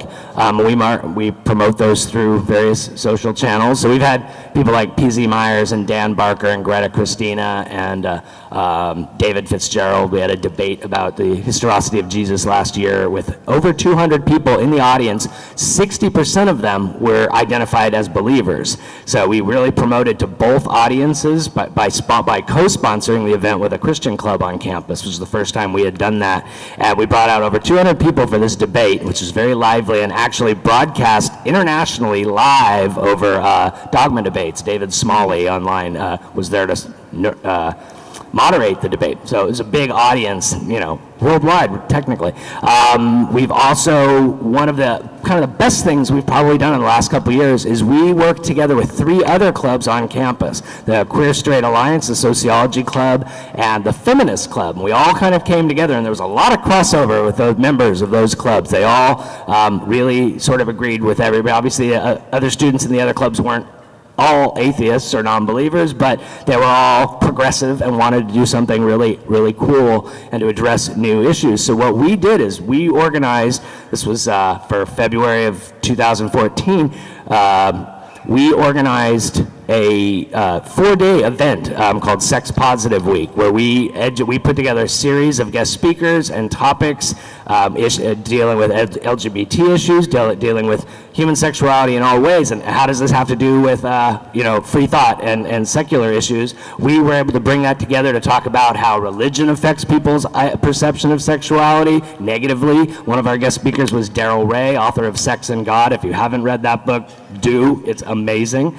Um, so we uh, we were able to put together all these ideas from a sociological perspective, from a feminist and LGBT perspective, and from a secular perspective, and bring out hundreds of, of students and people from the public to see these guest speakers and take part in these seminars. And we were able to raise uh, enough money to each of the four clubs were able to donate uh, over $200, not a lot of money, but it's a little money, over $200 to the local organization that they wanted their split of the, the r- funds raised to go to, and our $220 went to Camp Quest West. So, uh, great. So, um, like, like Camp Quest, we're about getting these ideas out to younger audiences. Our, our audience at a community college is anywhere from 16 to 66. We have age range of, you know, everybody. All of you could be community college students. Um, but we, uh, we are really, I think, there to, to bring them together at that point in their life and, and, and um, really see them grow. And we've had one story, and I'll wrap up, is one of our uh, young students, and this was going back almost probably five years, um, who had just sort of left religion on his own um, in the last year of, of having been religious and, and, fairly fervently religious for most of his life, um, had, just, had walked away from religion. Um, and he joined the club with a lot of passion and a lot of energy and not really knowing a lot of people who felt the way he did. Um, and he took part very actively. He ended up going on to Sac State um, and running an SSA organization at Sac State. And now he is actually employed full time by the SSA's Dan Pemberton. He is, the, he is a regional um, representative or uh, liaison to the National SSA with all the colleges on the West Coast. So he started at City College just kind of finding his way in the secular world, and we helped uh, sort of bring that idea together. I'm really proud that he has gone on to be active and you know a, an actual full-time activist in this in this uh, in free thought world. So that's what we're there for. Um, please come and check out our table and talk to the students. We've got a lot of materials and information, and you can support us. Um, we're not a uh, we're not a nonprofit organization, but if you really were feeling generous, you could donate money through the City College Foundation to us, and that would be non, non-tax, uh, non-taxable. Uh, or you could support the National Secular or you Student could celebrate, absolutely, you could donate to the national organization. And one other thing, we have really cool, custom-made, you can't get them anywhere else, pins of all kinds that, uh, of secular messages over there, and we make them, our, we design them and make them on, on campus, and you can't get them anywhere else, and so you can buy a couple of those for, and uh, uh, uh, help us out a little bit. So thank you very much. We're able to take questions about either Camp Quest or Secular Student Alliance or anything else if, you, if uh, you'd like. Someone's going to moderate that. Well, if you like questions, we've got the, the questions. We're cool if you don't. It seems like we did such a good job that we left no stone unturned, no question unanswered. So we can just tell them that they should go check out the Camp Quest West booth and the Secular Student Alliance tables, right? Absolutely. I think so. Thank you guys so much. Oh, we have a question. Ha! Yay! Yeah. Paul. Hi. Yeah. The uh, you mentioned that the uh, Secular Student Alliance has uh, branched into high schools now, and I was just wondering that's still an age where the parents could be very sort of controlling about what their kids do. Have you had any uh, opposition from parents, um, and how have you dealt with it? Well, since it, since this uh, the one at, at uh, Laguna is the first high school group that we've known of, and we just found out this week that they existed. I can't speak to that, uh, uh but I have heard, obviously, anecdotally, there, that can be an issue. Although this the student who did start the club, his mother was there this morning helping him set up, and so that was great. I talked to her and. Yeah, that, that could be an issue that you, actually, it could even happen at community college. We've had students who are still 17 um, going to the community college. I mean, I, I had a student a couple years ago who was in the process of not only leaving the Mormon church, living at home, leaving the Mormon church and coming out of the closet wow. simultaneously and going to community college at 17. Um, fortunately, he didn't have a horrible experience. It was definitely not great, but we were there to give him some support and, you know, and that he could feel like there was somebody there to uh, feel comfortable with if he wasn't comfortable at home. Um, that's my only direct anecdote. I'm sure you have some. I can add on to that because uh, Camp Quest shares office space with the National Secular Student Alliance, and I, I happen to be married to August Brunsman, the executive director of the Secular Student Alliance. Just happens. It's yeah. coincidence. Him, him and all the national uh, SSA folks are having a board meeting this weekend, so they couldn't send anyone out here.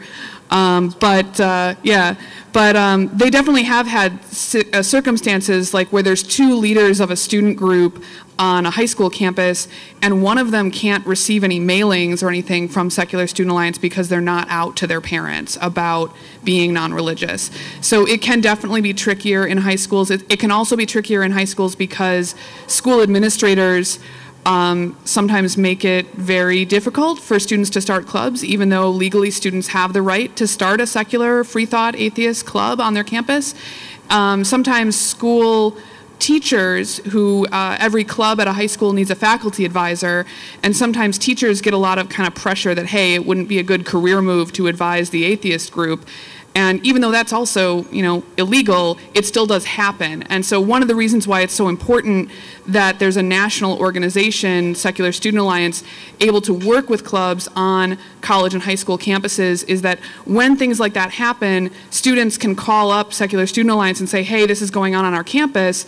And SSA can say, oh, well, let's put you in touch with Freedom from Religion Foundation, and they can help you out with that from a legal perspective. Oh, let's, uh, we, we had a case with a, a high school group in Texas, and um, they were being very recalcitrant about, their school administration was being very recalcitrant about letting this group start. And well, the Secular Student Alliance was in touch with a reporter at USA Today who wanted to do a story about these high school clubs. And well, when the USA Today reporter called the high school administration, all of a sudden the club was allowed to form.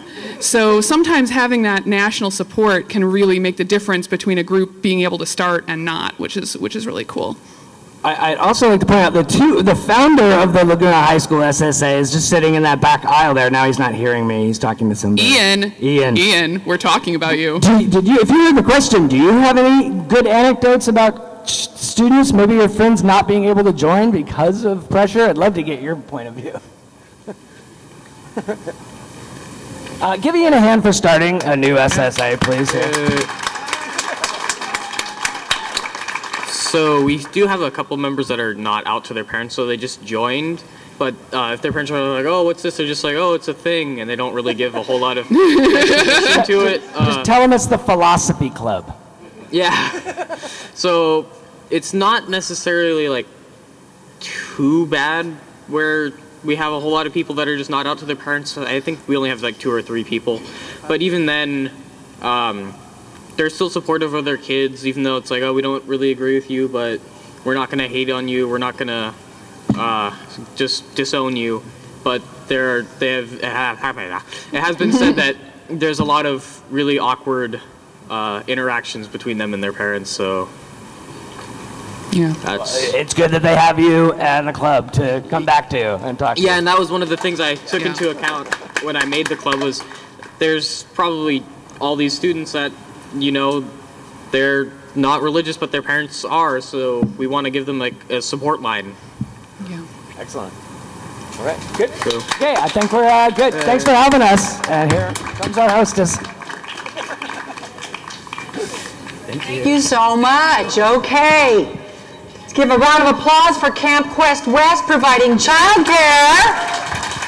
Thank you. And one more time for the great work achieved by the Secular Student Alliance. Woohoo!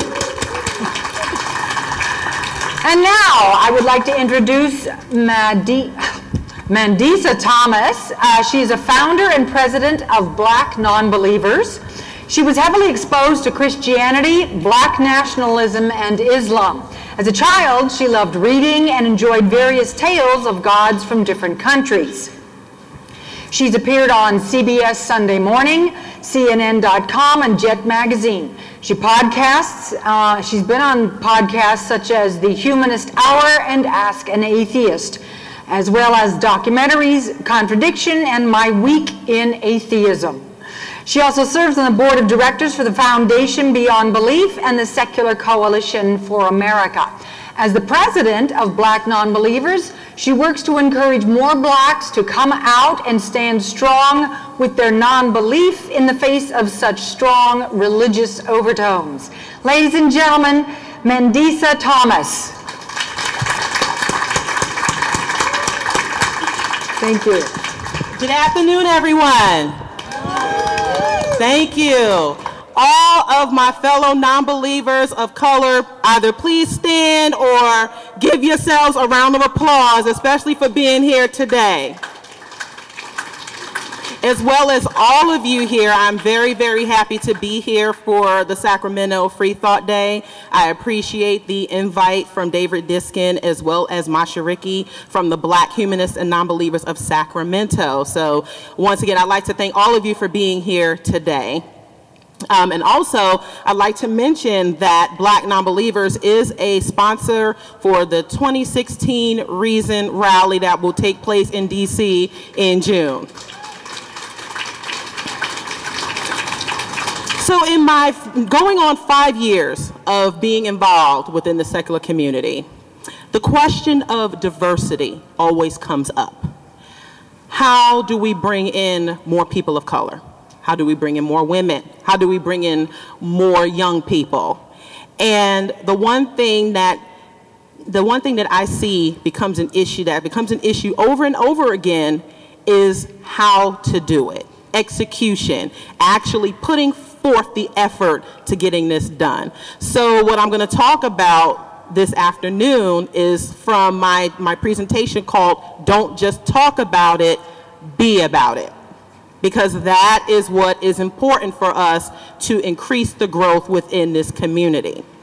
So I'm going to get into a bit of background about religion in the black community. Now, yeah, we're all humanists, we're all atheists, we're all non-believers, so color shouldn't matter, right? You know, we're, we're this one big community. Um, every, there, there's, no, there's no issues when it comes to that. But look at the number of people of color in this audience. There is an issue, there is a concern as to why there are so few of us. So in the black community, if you are familiar at all, you know, even according to Pew Research numbers, the majority of blacks still identify as religious. So whereas many atheists, and I'm sure, and, and I don't discount any experiences that of what we face when we encounter our family members and friends, try dealing with that from a marginalized community who has had to rely on this institution for support and that has pretty much uh, inserted itself and asserted itself uh, into the identity of a people. And so therefore, if you are a non-religious person in the black community, you might as well give up being black or another person of color. So there is extra added baggage that we deal with within our respective communities that needs to be understood as to and, and why we have formed our groups.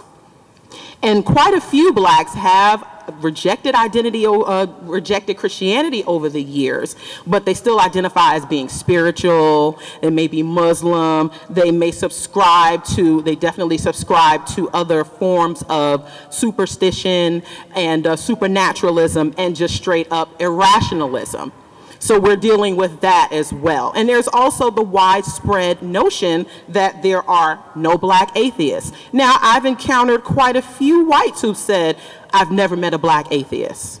Try hearing that from other blacks, which is a problem considering that there is history of free thought and humanism and non-belief within our community. And these are some of the things that we try to educate everyone on, but because of the legacy of the church that has hijacked um, that has hijacked the legacy of the black community, these are things that we seek to re-educate people on, which is something that is uh, very important to the secular community too. So the question uh, comes up often. Why does there need to be a black non-believers? Why does there need to be a specific group? Amanda was just up here talking about Camp Quest, which focuses on children. There are student groups. There are groups for women. So guess what? There needs to be groups for people of color as well because we are committed to the progression of the growth of our communities. There are other issues that take place within our communities that non, non-blacks or non-people of color may not have to think about. Let's talk about the, the, issue of police brutality, for example, issues of racism. Uh, you may not necessarily have to deal with that on an everyday basis. We do. And as humanists and atheists and non-believers, many of our passions go towards these concerns and issues, in addition to secularism, in addition to being passionate about church and state separation. And it's all included in human rights and humanism. So we are committed and passionate about those issues as well. And we focus on specific, again, we focus on these issues that the larger organizations may not have time to address, although they should if possible.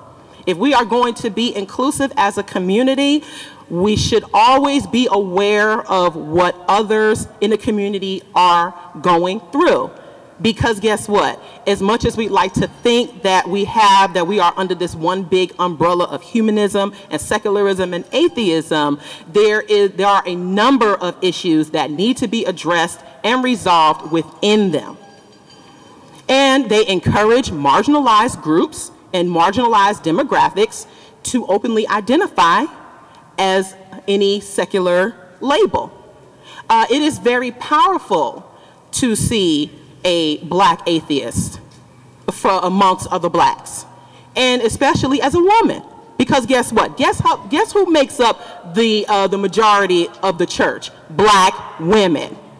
But there are more black women and more black people who are coming out as a result. And guess what? They need to see our faces. They need to see the diversity that is present within our own community, and we can help bridge those gaps within the secular community. And you can find black non-believers. Uh, we were founded in Atlanta, and we are still going strong within the Atlanta area. Uh, we are also in Orlando, we're in Dallas, we're in Memphis, uh, we're in Detroit and DC, and other and other areas. And we also partner. We are proud to partner and be affiliates with, affiliated with most, if not all, of the national organizations. They know who we are, and therefore you need to know who we are. And you can also find more information about groups for people of color because guess what? They are growing. Our demographic is growing. More of us are coming out especially within the Sacramento area. You can find more information about groups for people of color on the website for African Americans for Humanism at aahumanism.net. Now, we talk a lot. We've, we've been talking all day. We talk at our conferences, we talk at our conventions, we talk at our meetings. Um, talk is important, having these discussions are important, but guess what? It can be cheap. It's very inexpensive to do. You have a lot of folks who are on social media, they have blogging sites. There's certainly a lot of expression of, um, about secularism, atheism, non-belief, and what we should do. But when it comes to actually putting forth action, when it comes to actually getting involved, we tend to notice, and I'm sure all of the organizers can agree with me, there is a tendency for folks to fall short. You have more folks, you have some great ideas out there, which are very, very important, but when it comes to putting them into action, uh, sometimes we get ghosted on, for lack of a better term.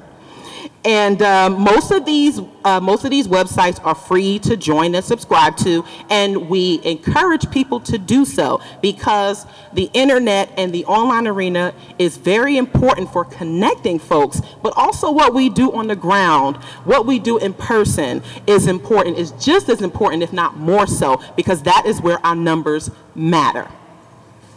So how can we be more about it within the secular community? How can we be more about diversity?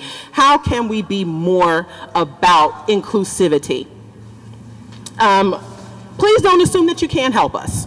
Uh, whenever we have our tables at certain events, um, we have folks who may pass by us, they see black non-believers, or they may, they may see a certain group, and they don't think that they, they don't think they have anything to offer. Well, that isn't true. Certainly, just because you are, if you are a white, or if you are white, or if you're from another background, that certainly doesn't mean that you cannot offer some advice or help for, with our organizations. We certainly appreciate that. I know I do. Um, don't be dismissive of concerns. Again, um, when we are talking to you about the specific issues that pertain to our community, one of the worst things you can do is say, well, color doesn't matter. Or, you know, this, this may happen in my community too. We don't dismiss that. But again, if you are unfamiliar with the history or the, the dynamic of black, of black culture, then it is irresponsible to be dismissive of what we go through and why we are here. Also, but don't put too much pressure on yourself. It's okay if you've never had to think about what others go through. It's okay to say that you didn't know. Um, it's okay to admit that it's something you never had to think about because it happens. and it's okay. Um, you don't have to beat yourself up over it. I certainly don't like to try to make others feel guilty about it. But once you are more aware, it, it does become uh, the responsible thing to do is to make yourself more aware, become more informative, and try to get and get involved if you can. Please don't start any sentence with "I'm not black." um, we we hear a lot of that. Um, and you don't have to be black to get involved with us. You don't have to be black to support us. The, the solidarity in this movement is very important, and I always encourage our members to get involved with any group, especially within the secular community, that is doing something good. Because guess what? Church and state separation is very important. It, it, it pertains and it affects all of us. The human rights issue, you know, the lobbying, uh, the lobbying uh, concerns and causes, they are important to all of us. They affect all of us. So guess what? It's good for all of us to become involved. Um, don't be overbearing either. Um, we've had some folks who try to educate us more on black history and culture that, and, and we, that, that we already know. so uh, it's uh, it's okay. You know, we we don't need for people to overly educate us about the issues that we know about already. So it's best to sit back and listen to what we have to say. And uh, also, don't assume that all black folks care about the same issues. We don't. We've never been a homogenous or monolithic community. We never will be. So to generalize and to and, and to approach us as if we all think the same would be irresponsible to do as well. So definitely, when you see our groups, when you see our tables, don't run away. You know, come to us. We are very inviting. Talk to us. Uh, you can get involved with our organizations. So those are the things that you shouldn't do. But what you should do is to participate offline with your respective groups and organizations. There is nothing more important than to help grow our numbers offline and at our events. Collaborate with groups for people of color and encourage them to do the same and not just the free thought organizations. Um, there may be some other issues that as humanists you are have in common with someone that may be from a religious organization. Uh, try to see if you can collaborate on an event that you have in common. I know that it can be a bit you can be apprehensive, it can be a bit nerve wracking. You know, in, in uh, approaching religious people sometimes uh, it, it can be difficult. But at least you can say you tried. And the more they see us and the more they see that we are just regular human beings who care about things just as much as they do, then more than likely, um, the, the better our chances of working together. And again, work with your groups of color let's just be honest here. There are just certain things, there are just, there are, uh, a white person will just not be able to go into a black neighborhood and just start talking about secularism and non-belief. More than likely, that is not going to be feasible for you to do. So guess what? You seek out your groups of color. You seek out your leaders of color. See what you can do to work with them and partner with them and, uh, and partner with us rather, because um, it is a matter of us. See what you can do to work with us to help work with our communities because guess what? It's all important. Be consistent, be persistent, and be genuine.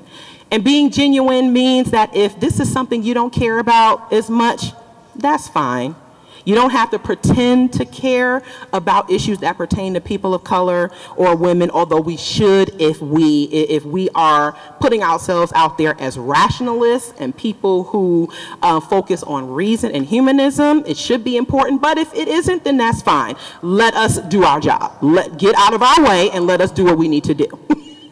But if you are genuine and you are passionate about it, then work with us and don't let it be a one time conversation.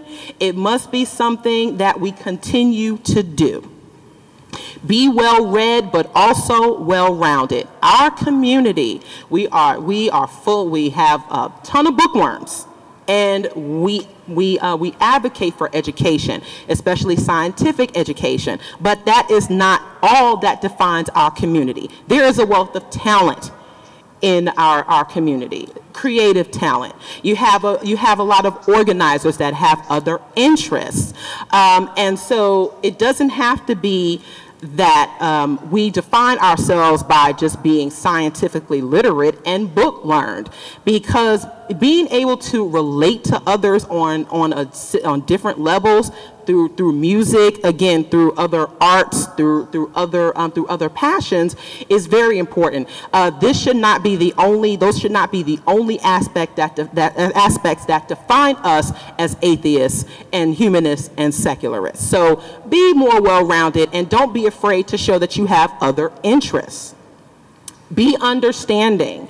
Understanding doesn't mean you have to agree on issues, but that you can understand it. Uh, having the dialogue and uh, having the discussions means that you are willing to put your own point of view to the side and listen to others. Again, you don't have to agree with everything that you hear or that we say, but at least you can understand where we're coming from have information and resources available, start including more people of color in your narrative. If you are going to continue to push white males as the face of free thought and atheism, then no, we will not have that diversity. And there is a lot of information about people of color, women, and others who are doing great things in this community.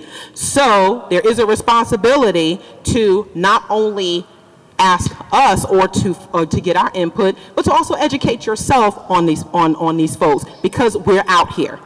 So continue to expand your narrative, expand your information, and have those references and resources available to those who are looking for them. This is another, this is something important. Please donate and contribute to your organizations. It is vital. It is important. It is uh, to, to our survival. I will say that Black Nonbelievers is a 501c3 nonprofit organization, so your donations are tax deductible. And they go towards our primary mission, which is to help increase the diversity of the secular community, as well as bring out more black atheists and nonbelievers and to help support them as well as other people of color our organizations, our organization has been um, very, very vital to this community and it's also been inspirational for other groups from different backgrounds. And it is possible that we can, we can make this happen. So even with your own organizations, though your national organizations that are, that are working towards major change, donate to, to donate to them too. And last but not least, uh, try to have fun with it. What good is doing what we do if we don't enjoy it? If we aren't trying to uh, reach people and trying to be welcoming. We don't want to become a community that is off-putting because we tout our intellectual abilities, but again, not, not relating and resonating with people because we don't know when to tone it down. We are just as human as anyone else and as everyone else, and we have the ability to show that through the various means of getting involved with this community. So it does, and, and religion has um, pushed this idea that you must absolutely serve until the day you die, so that you are not supposed to enjoy the one life you have. And this is something that as a secular community, we can help change. We can help change this and help each other and also ourselves. So we at least, we definitely need to try to have some fun with it. So in closing, I'd just like to say that yes, the faces of the movement are changing. In these past five years, I have seen the growth. I have seen the increase of people of color that attend events. If it isn't only through our organization, but certainly there is much more that we can do as a community to help each other, not just in what we look like, but also in what we do and also what we bring to the table as people. And that will go, that we have to do more than just talk about it. We must also be about it. Thank you.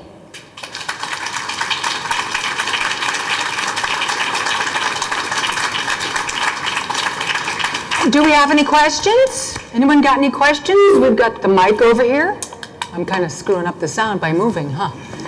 Anybody? Questions? Comments? Yes, please do.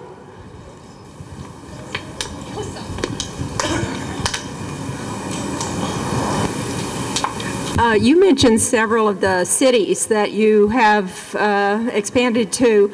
Um, how uh, how do you form within those cities? You know, is this coming about because of internet, people getting to know you better, or are there other ways? Absolutely. Um, thank you for that question. Um, yes, be through um, through the internet, through social media, we have interest in starting in, in uh, folks starting uh, groups, wanting to start groups in various cities. So I, what I like to do is I like to talk to those who have um, who shown interest in organizing. I tell them what is involved, what they need to do. They need to establish an online, a media, a social media presence through Meetup, through Facebook, through Twitter, and also through a website and um, we also help promote, uh, we, we help promote the new groups, um, and it becomes a matter of them, uh, they're all self-governing, they schedule their own meetups, um, but we also have, uh, we also have uh, strategizing meetings to uh, give each other pointers and tips on, on what to do and how to reach out. We also put, we also put them in touch with the local coalition organizers as well, because all the BN groups are involved with the local coalitions. So we do work with the other groups and we encourage partnerships with the other groups. So we definitely do a lot of connecting to those who are um, to those who are organizing so that they can get the word out.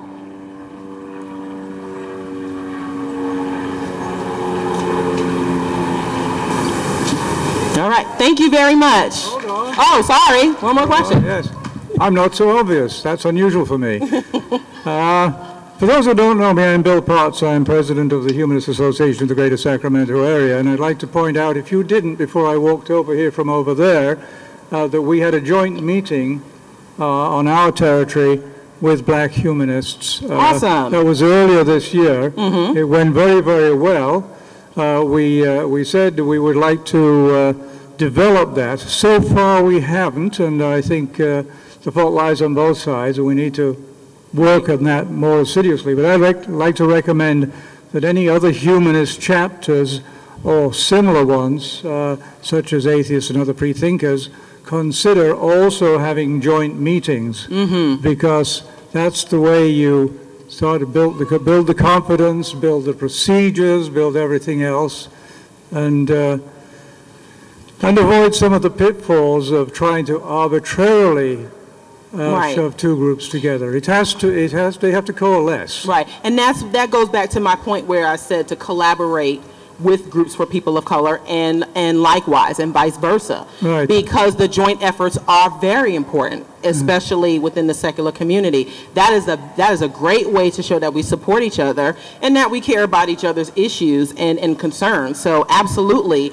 the collaborations and the joint meetings are important. And let mm-hmm. me just say too, sorry, that you know, most of us are, you know, I know I, I work nine to five. I have a full-time job. I'm a mother. I, I, you know, I'm a wife. So in addition to running Black Non-Believers, I have a bunch of, a bunch of things on my plate. So it's understandable that it can be difficult at times to get people together like you want to. But uh, if the passion is there, then it, and it is possible. So it's just a matter of continuing to be consistent and, and just uh, and going and keeping at it. And uh, I think one thing to avoid is the appearance of patron- patronization on the part of the established white or majority white group. We must not be, uh, the relationship should not be a patronizing one, it should be one of equal input. Yeah. Um, what do you mean as far as equal input? Um, One should not uh, take the historical perspective of someone needing a leg up. Right. For instance. Right. Because that, that tends to be patronizing. Oh, yes, I can help you.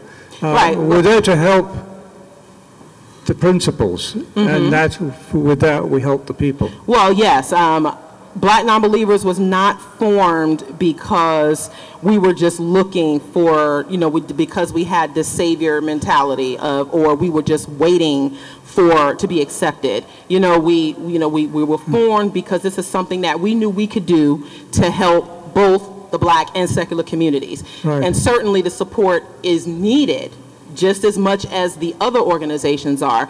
But absolutely, uh, we are capable of doing this for ourselves, of course, with the help of the other, with the, with the movement overall. Right. Yes. Thank you. Thank you.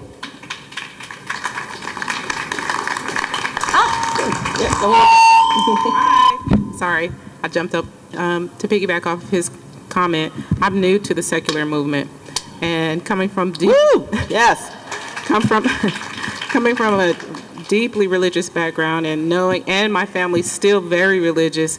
As a black person, it is difficult to acquiesce to this movement, not because I don't have the same belief system, but because the majority of you guys are white. That's just the truth. And it's very intimidating for me because I don't know if you're going to accept me, number one, because I'm black, and number two, I don't know if you're going to patronize because I'm black. I don't know if you're going to think I need help. I don't need help. I just want to be around like-minded people, people that think like me not necessarily, it doesn't matter what color you are or what background you're from. That's how I'm coming to you, but I don't feel like that's how you're going to come to me. So black atheist groups are very supportive and very helpful for people who think like I do in the beginning. Obviously, I'm here, so I'm not literally standing here going, oh my God, you guys are scary. But the reality is, black people coming out of such a deeply religious history and a deeply religious background and a deeply racist life. I mean, we live it. We're just not going to walk in and feel like you're welcoming. So it is needed, even though we're, it feels separate. We need to do this first, and then it'll be a lot easier to welcome, to understand, oh, wait, everybody thinks like me, and so I don't have to worry about feeling, you know, out of place or different because I'm black. Right. So I just wanted to say that. Thank you. And this is what we try to help people to understand. Sometimes, sometimes there is a need to work on things separately before we can come together. So to be separate at times isn't necessarily a bad thing because there are ways that we can work on, um, on what is necessary to us as respective communities uh, before we can come together and come to the table. So just looking at that as from a strategic point of view is important as well. So thank you.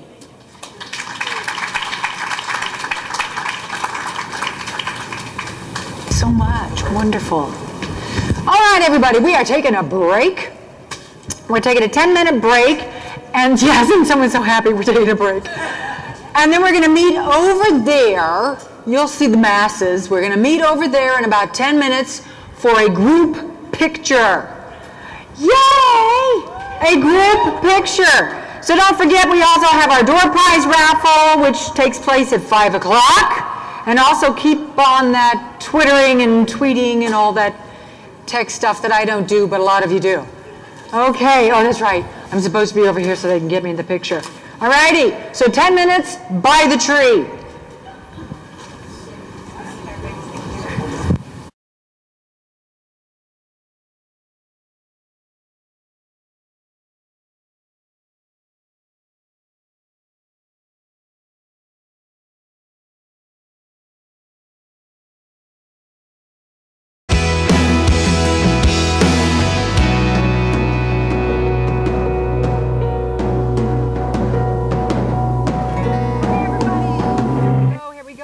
Here we go, there we go. All righty. We've got Mr. Chris Johnson, so come on back. Wonderful speaker. Chris is a New York-based photographer and filmmaker. His photography has been seen in various outlets, including the New York Times. He has spent the last three years working on A Better Life, traveling across the United States, Canada, the UK, Ireland, and other countries. He has given talks on atheism and his work at the Humanist Community at Harvard, New York Society for Ethical Culture, Freedom from Religion Foundation Annual Conference, and more. Chris is the recipient of the Kodak Award for Excellence in Filmmaking, as well as the B.F. Lorenzetti Scholarship for Excellence in Filmmaking. So let us gather around. Come here, Chris. Come on down. Let's get everyone here. Yay! Thank you.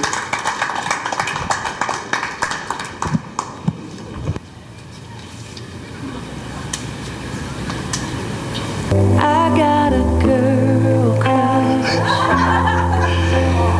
I'd like to take the mood down. Is everybody back? If you're not back, raise your hand. I see everybody over there. All right. How's everyone doing? Hot! Oh my gosh, it's so hot. I, uh, I was recently in South Carolina where the weather was a lot different, a lot of flooding going on. And then I came here and the weather's amazing, but it's a bit hot. Yeah, but it's exciting to be back here in California. All right. Shall I begin? Shall, should I start? All right, let's do it.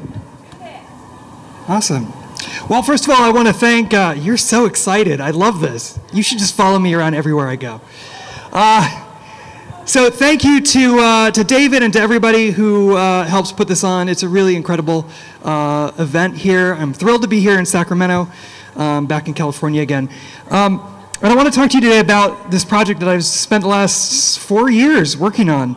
Uh, journey uh, all over the world talking to people about atheism. Um, and what I want to do with this project, with the project, both the book and the film version of the book being right here, is I want to change the conversation we've been having about atheism. So, about 10 years ago, when I was in college, all the new atheist books came out, right? God Delusion, God's Not Great, End of Faith. Uh, all those came out and they were wonderful. I read them all. They had a, a huge impact on me. But I always felt that one part of the conversation was missing. The conversation was all about what we didn't believe in, right? I want to talk about what we do believe in.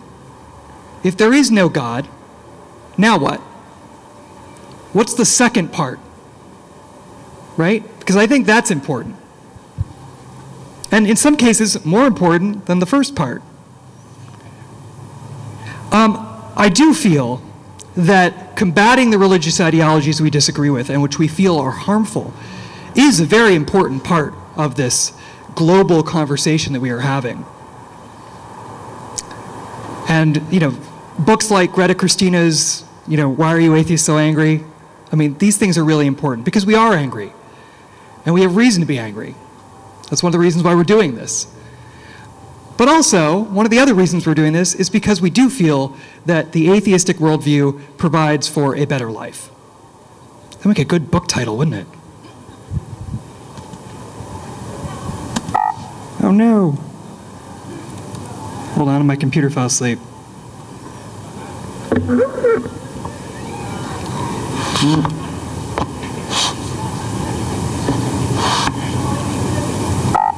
Come on. I know. Right? Oh, there we go. Okay. I know. Technology. It's a theist. It needs coffee. It does. It's true. Um, so, how many times have you heard, oh, you're an atheist, you must believe in nothing? Right? We've all heard that. So, we need to address these issues that atheism is simply belief in nothing. Because I think if you remove God from the picture, there's so much more that opens up. It really affects how you see the world, how you see yourself, how you see those around you and your friends and your family, and your life and your own mortality, right? Because this is the only life you have. We also need to address that the reasons people believe in God are not necessarily intellectual reasons. I don't think anybody hears the Kalam cosmological argument for the existence of God and says, you know what, that makes sense. I believe in that. No, people believe in God because of emotional reasons, because they don't want to die, because they don't want their friends to die. They don't want their family to die. They don't want this to be the only life there is. Right? So if we don't address the emotional underlying causes for people believing in God, I think that we're fighting a losing battle. If all we're going to do is address the intellectual arguments, because nobody believes in God because of those arguments. None. Nobody. Not even William Lane Craig. And I challenge him to a debate on that. So, how did I go from being a poor, struggling artist living in New York City to being the poor, struggling artist standing in front of you? Uh, it started four years ago. I was on a road trip with my brother through the Southwest. Uh, I went through White Sands National Monument in New Mexico. Who's been there before? Anybody been to White Sands? Woo, over there. All right, over there. Awesome. It's one of the most beautiful places uh, on the planet. It's like snow, these sand dunes, and just stretch for miles and miles, and then mountains in the background. It's just simply incredible. And I'm going there, I'm taking a bunch of photos, and my brother says to me, You know, you really should do a photography book. And I said to myself, Well, you know, there are a lot of photographers out there, a lot of photography books. Nobody cares, nobody knows who I am. And he said to me, Well, you just have to think of a way of making it different. And we were listening to a lot of podcasts on atheism in the car, because I minored in religious studies in college, so I always found the topic really interesting. And all of a sudden, it came to me. What if I were to do a photography book showing atheists as smiling, happy, beautiful, wonderful people? Because what do people think of when they think of atheists, right? You think of an old white man college professor, right? Of which there are many, and they're great. But it's not the full story. You're not getting the full picture of the atheist community, of the diversity within the atheist community with that one snapshot or that one stereotype. So I had this idea, but I had a problem. A problem that many people have, which is I didn't have any money. And how was I going to do this big, expensive coffee table book, traveling around, taking all these pictures, doing all these interviews with no money? Thumbing rides? Uh, so I found Kickstarter. Anybody back a project on Kickstarter? Woo! Anybody back my project on Kickstarter? Oh, yes! All right! Thank you. Awesome. Yeah, so I found Kickstarter. Uh, for those of you that don't know, it's a crowdfunding platform, so you can say, hey, I want to do this book, I want to do this movie, I want to do this project, and people will give you money to do that. And you can say, oh, you get a book when it's done, or you get a copy of the film when it's done. Put your name in the back of it. Stuff like that. It's really great. It's, it's a wonderful thing. So I did a two month long Kickstarter uh, project campaign to raise the funds to do this, uh, to do this book initially. And uh, it was a very stressful two months trying to raise money to do it. But at the end of it, it was successful. I raised over $100,000, which at the time, it was the second highest grossing publishing project Kickstarter had ever done, all for an atheist book. Yeah, take that, God. So I was really happy about it. Uh, the funding was successful. I started uh, traveling around. Um, the feedback was interesting. I got one, uh, there was a YouTube comment somebody left on my YouTube channel once that said, please die in a car crash or other accident. You know, we were talking about death threats and stuff earlier. And I actually, uh, I find that comment amusing for two reasons. Uh, number one, they said please. And number two, they give me a choice. They're kind of okay if I die in a car crash or some other accident. So, you know, people on the internet, you know, it's just, I don't get it. So, I got some other great messages too, though. You know, support from all over the world. People really in- interested in showing a positive view of atheism. The second half of that conversation. So I did all the interviews, traveled around meeting 100 people from around the world, interviewing them. I filmed all the interviews that I did. So when I finally put the book together, published the book, sent it out, I had, you know, 70, 80 plus hours of interview footage from the interviews that I did. And what was I going to do with that? Just sit in my New York apartment and just watch it all day? I mean, I could, But I decided to put that together into a film. So I spent nine months editing, reshooting things, putting that together going through all that footage, and I put together the film version, which, who saw it last night? Who was here last night saw the film? Woo, yeah. Did you like the film? For those of you that didn't see the film, it's available on DVD over there. Also on my website, which is theatheistbook.com. Um, so I've been traveling since May, traveling around the world, showing the film, all the way from London to China, showing this film about happy atheists, about how not having a God in your life affects your life in a positive way. Um, when I was in Peru showing the film, Peru is one of the most religious countries in the world. People often forget that. We forget about South America. Shame on us. When I was in Peru, you know, it's 97% Catholic. Standing room only at this screening in Peru. Like 100 people to see this film. One of the organizers told me afterwards that some folks uh, at the event had traveled eight hours on a bus to come see this film. And if you ever travel by bus in Peru, it can be very, it's not the safest thing in the world to be doing, right? So it's really had an impact, um, not just on atheists, I might, might add. Um, I, was at a, I did a screening in Phoenix uh, a couple weeks ago and uh, did, the, you know, did an intro, showed the film, doing a Q&A after, and you know, a couple questions, and then this guy stands up in the back and he says, hey, uh, I just want to let you know I'm a Christian. I'm actually a pastor. And I came here to see what this thing was all about. I had no idea what it was. I just thought, oh, this would be interesting. And I've learned more about atheism in the past 90 minutes than I knew beforehand. And thank you for making a positive film about atheism. That doesn't simply just attack religion, but shows the positives of atheism. And then another guy got up and said, oh, hey, I'm a gay Christian, and I came here too. And this is really amazing. And we all took a picture after. It was great. Right? So it's changing minds even when you don't expect it. And that's one of the cool things about doing a project like this. The impact goes further than I can see. And I get little glimpses of that when I see where the books are being sent. When somebody orders a book from me, I always get a shipping label and I ship it out. People think there's some large corporation behind me. It's just me, like shipping out books. Um, they're all in my dad's basement.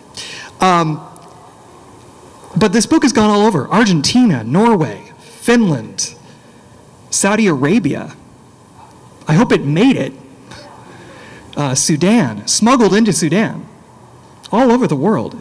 China, Japan. It's been really incredible. One of the common questions that I get is uh, how has this project affected me? Has it changed my life at all? Doing this, meeting all these people, going on this journey. And it, it has. Um, I've always been an atheist, so it wasn't really like, you know, I had to, it didn't change any of that. I've always had a lack of belief in God. Um, but it's changed the way I see my life. It's changed the way I see my own mortality. I mean, it's easy to say, oh, this is the only life you have, right? But when you have that conversation like every day for a year, it really starts affecting you. I remember I was sitting on a plane once and I thought, oh my God, how is this affecting me in my life? Um, and it really does.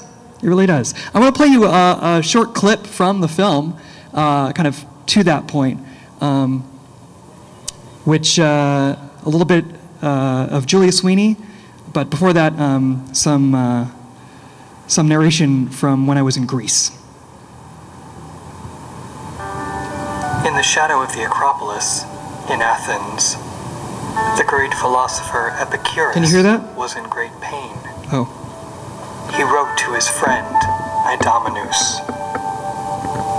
I write this to you while experiencing a blessedly happy day, and at the same time, the last day of my life. My continual sufferings are so great that nothing could increase them. But the cheerfulness of my mind, which comes from the recollection of all my philosophical contemplation and the memory of our past conversations counterbalances all these afflictions. He had some, he had cancer, they don't know what, you know, this is ancient Greece, but he was in a lot of pain. He had physical pain at the end of his life. And he would just sort of meditate on the happiest times of his life as a way to mitigate the physical pain. And that was a really profound thing for me. I thought, what if you sat and said, what, like if you were going to die tomorrow and you, you had this time to think, if you were thinking, what were the 10 greatest moments of my life? Like really specifically, not big things like, not like I graduated from college, but like that afternoon when I was, whatever, flirting with that guy, and then at the end of the afternoon I realized he liked me too, and then that night his foot brushed against mine, and then, you know, whatever. Or it could be anything, or when I finally finished that project, or or that party, or that sense of friends that I hung out with in college, and this one night when we all made pasta, but very specific, and really dwell on those great moments, because really that's all you have. That's all you have, are these great memories, and I don't know, there's just something really deep about that. Like just dwelling on the happy memories of your life, and spending time thinking about it and articulating it. And I do. I find myself doing that in my own life more now. If I'm in a moment that's really great, I think to myself, this is a really great moment. I have to cherish this, keep it in my brain, because at the end of the day, like she says, that's all you have, right? And just to, uh, to close with this, I'm actually reminded of Mr. Rogers. Who loves Mr. Rogers? Who doesn't like Mr. Rogers? I mean, really. Fox News doesn't like Mr. Rogers, right?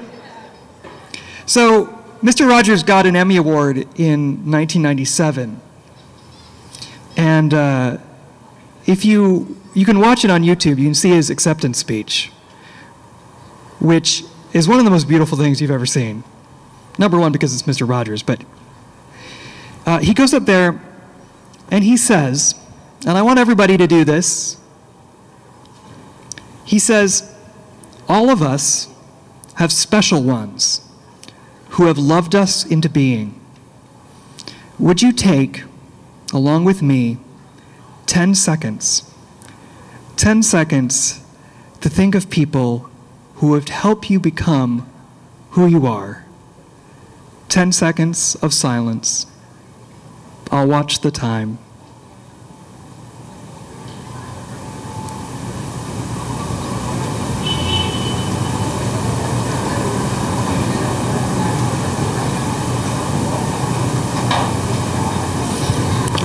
Whomever you've been thinking about, how lucky they must feel to know the contribution they've made in your life.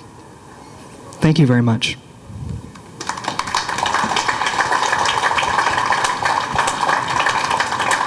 And we have time for questions. Do we have time for questions? Time for questions. 10 minutes for questions. We got questions, people. Anybody got a question? Question. Yes. Run. Run. Time's going to run out. Yeah, I know. Hi. Uh, I'm J.R. Chadwick, the cameraman for the event. Hi, JR. Hi. Uh, when you say that what uh, that uh, atheists say that we, that they don't believe in religion, and you they ask what do atheists believe in? Right. The my problem with that word is that religious people use the word belief very differently from how we would use it because uh, we use it in a colloquial sense that as a, like a synonym for trust or just something we think that we're of but we're not sure of. But uh, religious people use the word belief to describe a something that they're sure exists without any evidence and despite evidence in the contrary. So uh, it's not that we have to replace those uh, beliefs with something else. We simply don't have that. Do you? Uh, is that what you? What, what, what did you mean by uh, the uh, by atheist beliefs? Is is that what you were referring to, or just? Well, I just think that I'm just referring to the things that we uh, value when you strip away a belief in a God. So, you know, when you stop believing in God, how does that affect your life? How does it affect how you see the world? So that's what I mean by the things that it affects. You know, your views on uh, death, your views on life, your views on you know how you can contribute to the world during your time here. So that, that's what I mean. Okay.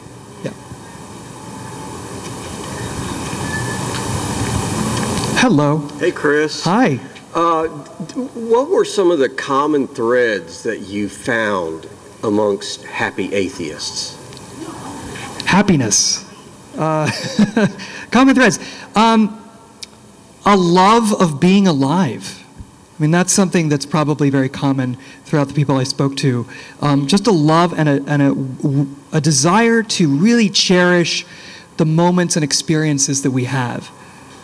So, people who would take risks, people who would take time from their jobs to spend time with their families, to go out and do things, to have interesting, fun experiences, go here, go there, take risks. That's probably uh, a common theme that I've, I've seen throughout and tried to do in my own life because of it. You know, just not worry as much um, or, you know, just try to cherish the moments because I think that's a, a, a large part of it, kind of as I've said, is um, a large part of just realizing that this is the only life you have is you have a, a finite amount of time. You know, um, A.C. Grayling says in the film, you know, if you do the math, you have less than a thousand months alive, right? And 300 of them you're asleep, and 300 of them you're waiting in line somewhere. And so you have 300 months to do whatever it is you want to do. Doesn't sound like a long time, right? So how are you using your 300 months? You only have that, so, and you don't even know that you're going to have that. I mean, that, that's if you're lucky. So really, it's, it's a matter of just kind of viewing life as precious. Hello. Howdy. Hi. Who was your favorite interview? Oh. And you can't say you loved all of them. Ah, yeah. I loved none of them. Um, there, got around that one.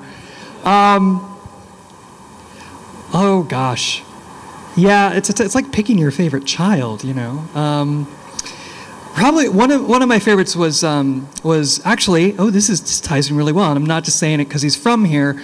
Uh, Alex Honnold, the rock climber, who's from Sacramento. Woo! Yeah, from Sacramento, and spends a lot of his time over in uh, Yosemite. Um, so I went out to Yosemite to see Alex and photograph him. And um, if you haven't seen the 60 Minutes piece on Alex, it's on YouTube. You can check it out. It's amazing. Um, that's where I first saw him and thought, wow, if this guy's an atheist, I have to get him for my book. Um, but yeah, I spent a couple days out there, like four or five days uh, in Yosemite, um, taking pictures of Alex, hanging out, and you know, went to a climbing lecture and all sorts of fun stuff. It was really, it was one of the most involved shoots that I did, um, and just one of the most fun too. Because if you, who's been to Yosemite before? Yeah, I mean, if you live here and you haven't gone, you have no excuse. Uh, uh, Yosemite is just incredible. So just spend that time in Yosemite and to spend it with somebody who loves it so much as well, that meant a lot to me. So there, I did it without saying I loved everybody. So anything else? Other comments, questions? Uh, like I said, I have a limited number of the books available here for sale. Um, it's cheaper to get them here than anywhere else. So if you want a mad rush for the table, I'll be over there. I'll be signing books. I have some DVDs left as well. You can also get the book and the DVD uh, from my website, which is theatheistbook.com. Um, thank you so much. I've really had such a pleasure being here today. Thank you again. Thank you, Chris. Wonderful. Okay. All righty. We have Mr. Bill Potts. It's hard to say when Bill Potts got his start as a poet. Some are not sure he ever did. That's what it says here. I did not write this. He, he did get some encouragement from one of his high school English teachers who wrote on one of Bill's poems, Doggerel, but good doggerel. This may explain Bill's later admiration of Ogden, Nash, a veritable fountain of doggerel, and in particular, Walt Kelly, the creator of Pogo. Bill, get on up here. Yoo-hoo!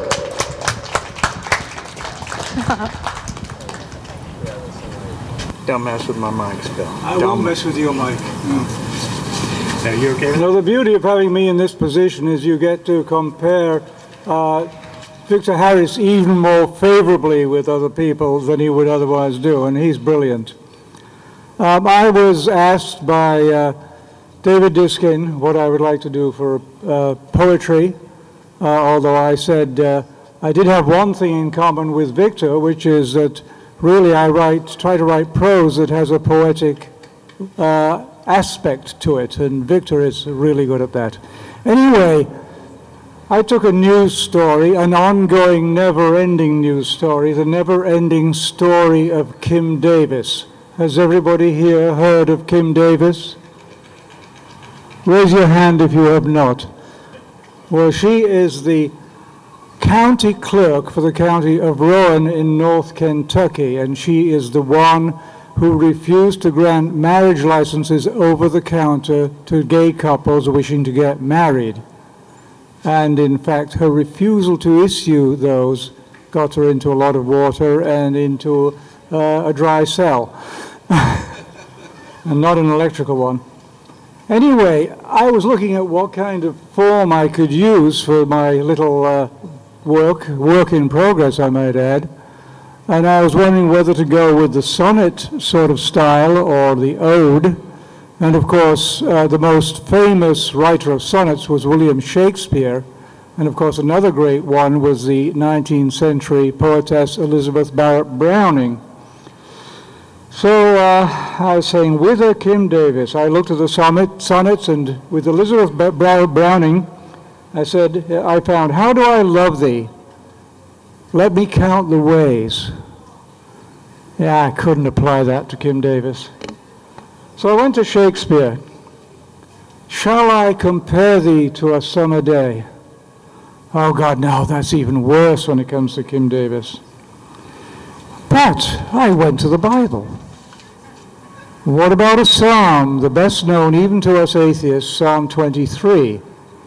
The Lord is my shepherd, I shall not want. And the cadence of that rang true because I was looking at Kim's ego. And so, um, my name is Kim Davis. I know what I want.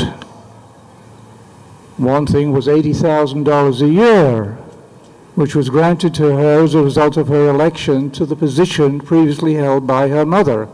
And of course, the whole family uh, got into religion, which was Kim Davis's reason for rejection of those applications, and they chose what is sometimes called apostolic Christianity, otherwise known as oneness Pentecostalism. What are the Pentecostals famous for? Two things. Churches with the name rock in them nothing to do with rock music, has to do with steadfastness. And the other one is speaking in tongues. Anybody here familiar with glossolalia, speaking in tongues?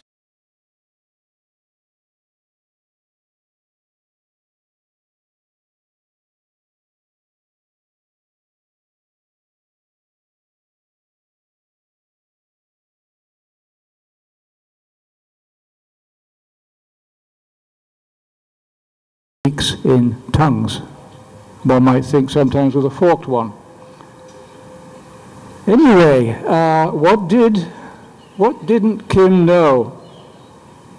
Or what she doesn't want. This is what Kim doesn't want. She doesn't apparently want to have any knowledge of the U.S. Constitution or of those things that are protected by the Bill of Rights, specifically freedom of religion.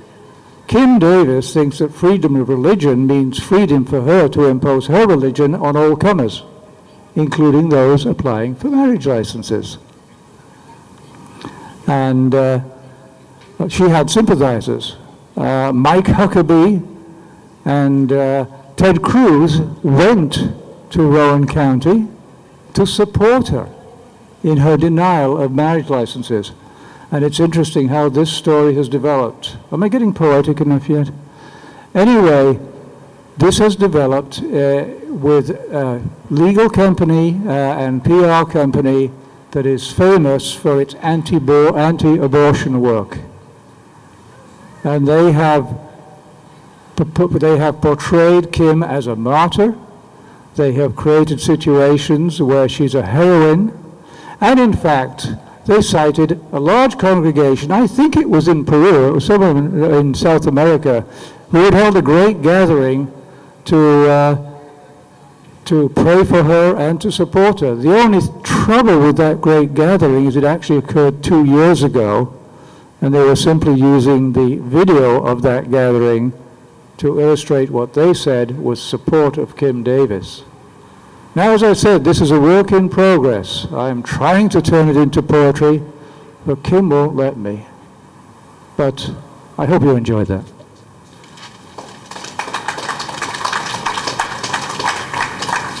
Hey, thank you, Bill. Alrighty, guys, we are going to take a break. I know.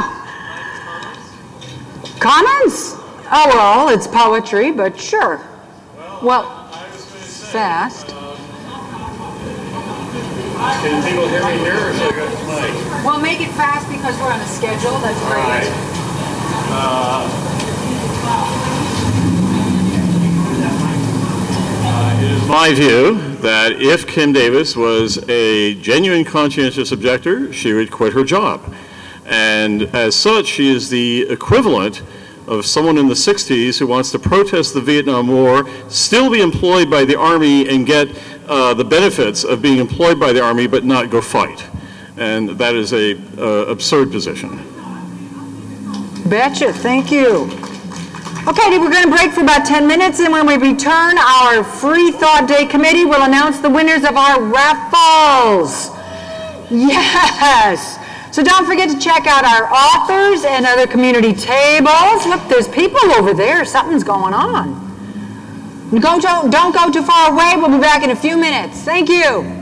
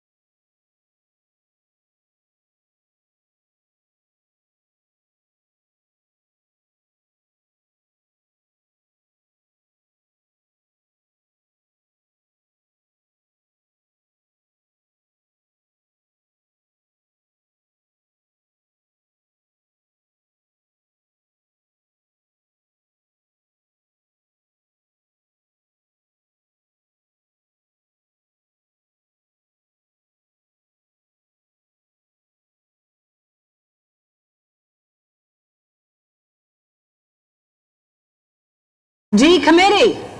I need the FD committee up here. I see a lot of way. Oh, that's right. You want me in the picture there. Okay?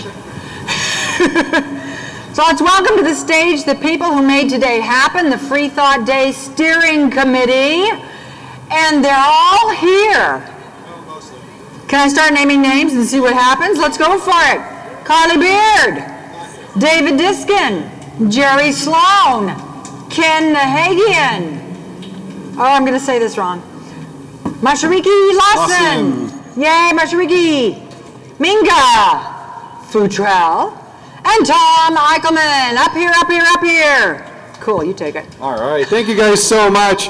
If I could have the majority of everyone just kind of come in, bring it on close, all of those awesome folks at the Secular Student Alliance that stood up to that crowd of people, you, yeah, come on, bring it in over here. Um, what a, a, just what a great uh, a day that we've had here. Uh, where's Ken? Ken Nahigian, where'd he go? Oh, you missed it. They were all behind you. That's how good we are. We got them like that. All right. Uh, Ken Nahigian, is he around? Because I want him to read off about our inductee for the year. Where's Ken? Not here. Read it yourself. I don't have it. Ken's got it. Well, you know who Oh, you have it?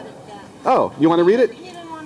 All right, Ming is going to read it, so that's awesome. Um, which is actually perfect because Ming is the founder of Free Thought Day here in Sacramento. Uh, let's give her a round of applause, and she's going to talk about our inductee of the year. It's low enough for me. well, uh, we've already hung his uh, picture out there along with the narrative, which is a, a little bit long, but I'll speed along here uh, through it. Uh, Oliver Sacks is uh, probably the most contemporary person we've ever had uh, as an honoree for Free Thought Day because he just died uh, in August. So um, he's very. How many of you have never heard of Oliver Sacks? Okay, see, there's hardly any of you who haven't, but I'm going to speed, speed along here. He's a brilliant English neurologist and a science advocate. He's author of the, this, uh, this one I love, he's the author of The Man Who Mistook, mistook His Wife for a Hat and a dozen of other bestsellers, of which were a lot of creativity. Uh, he was dubbed the Poet Laureate of Medicine, a very idiosyncratic writer. He peppered his books with compassionate accounts of people who were co- um, coping with neurological disorders and showing how wonderfully the brain generates perception, memory, and individuality. He had remar- remarkable connections. He knew so many people like W.H. Auden, uh, cartoonist Al Capp, um, just to name a few, Stephen, Go, uh, Stephen Gould, which um, was a famous scientist, actor Robin Williams, he just really got around. He seemed to touch everybody. He has a number of honors, which you can read about back there on uh, where he's hanging. Uh, he called himself an unbeliever and an old Jewish atheist in uh, one of his books, and he said, as I uh, write, in New York in mid December, the city is full of Christmas trees and menorahs. And as an old Jewish atheist, these things mean nothing to me. But Hanukkah songs are evoked in my mind whenever an image of a menorah impinges on my retina, even when I'm not consciously aware of it.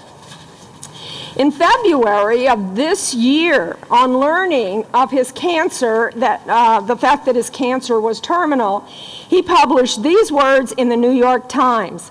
I have been increasingly conscious for the last 10 years or so of deaths among my contemporaries. My generation is on the way out, and each death I have felt as an abruption, a tearing away of a part of myself. There will be no one like us when we are gone. But then there is no one like us anywhere else ever. When people die, they cannot be replaced. They leave holes that cannot be filled.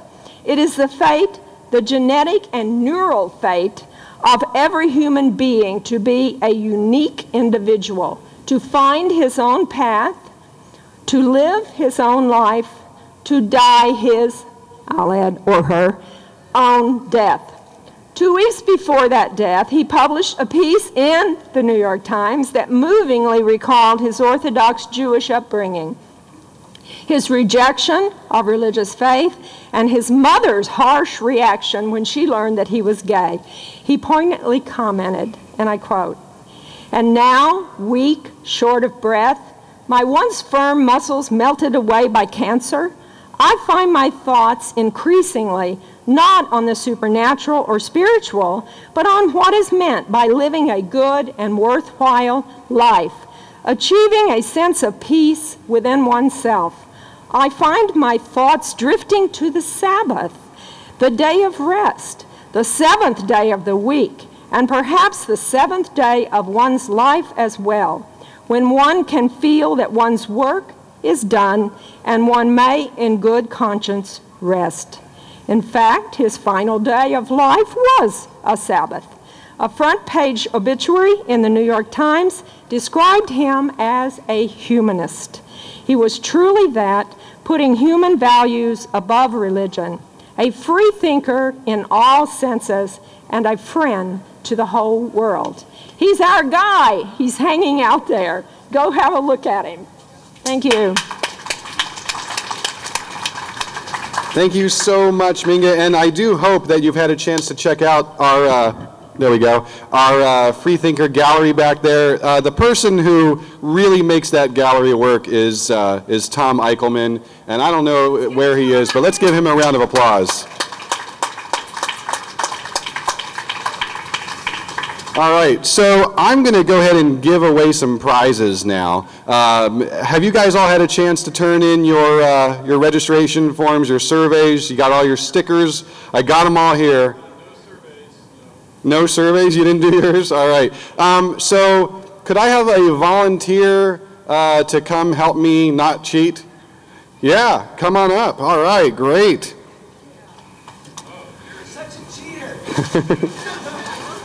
So you do not need to be present to win, but I sure would love to give this to four people who are here, or five. We got four, no, we have four gift baskets, which we will give to whoever we pick.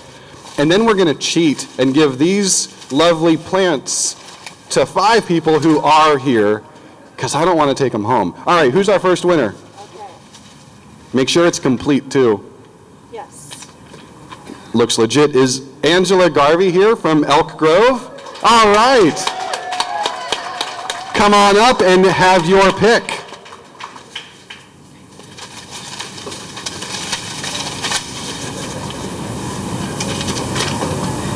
That is complete. Oh, Ryan Callum, is she, I saw her, Rin, is she here now? I know she was here earlier. Don't see her, but she is the winner. She just doesn't get to pick.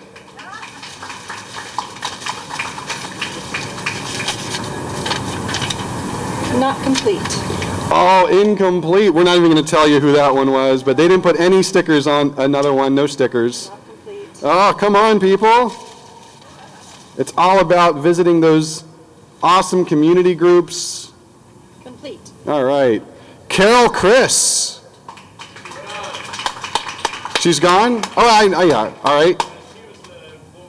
I know, yeah. That's awesome. And we, I will make sure she gets it. She lives not too far from me. Incomplete. Incomplete. Oh, come on. This could have been you. Yes. Yeah, right.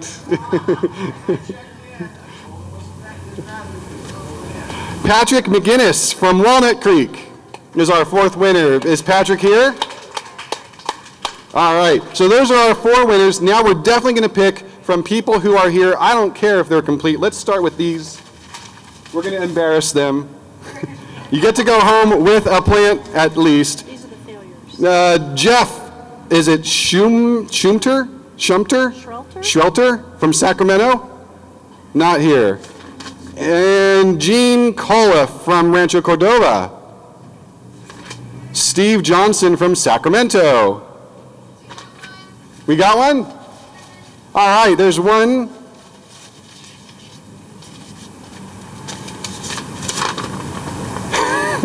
Deb Smith, our treasurer. You need to submit a receipt. Pick whatever one you want. And Andrew Harrison from San Diego. That's a long way. Is Andrew here? No, too bad. Um, you should, yeah, you get to pick your choice of plant. How about, oh, Shannon, our volunteer of the day. She's been here since like 8. Shannon, You hear me, Shannon? All right. And I think that gives us two more to go. Amy Magini from Hanford. She's already left. Oh, too bad. Ryan Denubilo from Fresno. Nope. Francesca from Sacramento. Nope. Nope, sorry.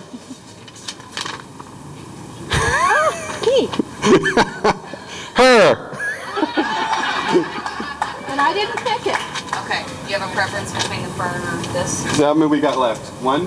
It's going in my mother's house. And Aaron eh, Montoya from Sacramento. Or Vicki Warner from Sacramento. Or Rachel Ream from Nevada City. Nancy Lowinger from Citrus Heights. We're going to keep going. We're getting rid of this plant. It deserves a home. Barbara Ofek from Sacramento. We're just going to call out names now. Eric Buchole from Merced. Deborah Wong from Hayward. Oh, oh, hey, all right.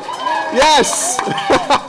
the plant is yours after the long search. And these are our um, winners of those. All right, way cool. That are we like a half hour behind now? Um, awesome. Um, I want to thank uh, just for a minute, uh, well, Janet for being our basket person who cheated and got a plant. And uh, Kent Martin. Kent is back there. He's been our stage manager the entire time, keeping us all on time. Thank you, brother. I appreciate it. Coming up here just for this from Orange County. Thank you. Yes. Um, we're going to bring Victor up on the stage in just a second, and then Richard Carrier. Uh, like I said earlier, today was all about helping you guys learn how to convey the idea of science is pretty awesome, and if someone is doing it wrong, you got to correct them, right? You got to tell them what's up. You got to tell them to cite their sources. You got to make sure that they're doing the right thing. And if they're lying, if they're spreading propaganda in the wrong way, uh, make them own up to that and, and help them understand the right way to do things. Um, this is our 14th year. I'm so excited. Next year is an election year. I expect Free Thought Today, Free Thought Day to be even bigger at that point. I hope we're on the north side again where it's a little bit warmer and, and in the shade, although right now it's like perfect, isn't it? Um, I want to thank again our MC, Marie Bain, for, for just doing an awesome job all of the committee and everyone else, all the volunteers, Mashariki, our volunteer coordinator who is driving one of our speakers to the airport right now, all of our speakers, I want to thank them again. Um, Carly, who did all of the beautiful decorations. I want to thank Amber Pate, who I don't think is here right now, who made the gorgeous gift baskets that we just gave away. I want to thank all of you for coming, especially those of you who donated. If you feel like you want to support Free Thought Day and you haven't yet, just come see me or get a hold of me somehow online. I will certainly take your money um, so we can make this bigger and better and invite more people and do more advertising next year. Um, so with all of that, I'm going to just uh, let Marie sit this one out for a second, and I'm going to introduce um, Victor Harris up here. Uh, is, Victor, are you? Yeah, he's ready to go. Um, Victor, I uh, had the opportunity to see at the Reason Rally in 2012. And speaking of the Reason Rally, it's happening again in 2016 at the end of May. And as awesome as Free Thought Day is, I want you to imagine Free Thought Day times 10,000 is, ba- okay, times 1,000 is what the Reason Rally is. It's happening in Washington, D.C. at the end of May, and it's coinciding with the Secular Coalition for America's uh, third or fourth annual Lobby Day, fourth annual Lobby Day, and American Atheists Annual Convention.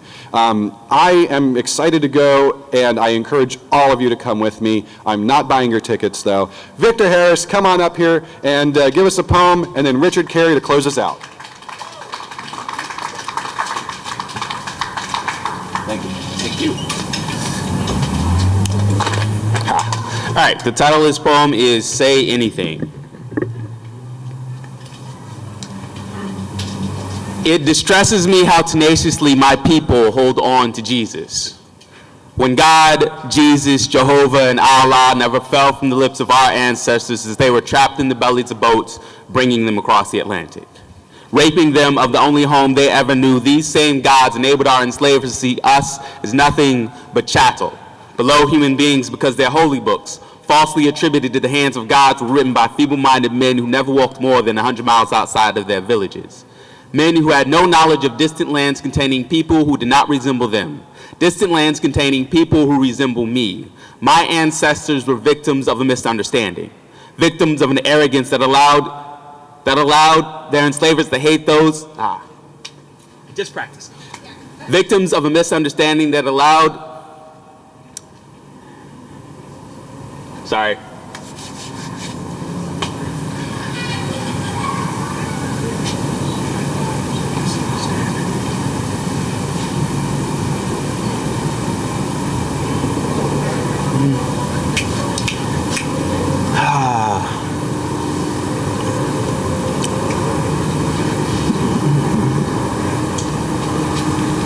See if I have it with me.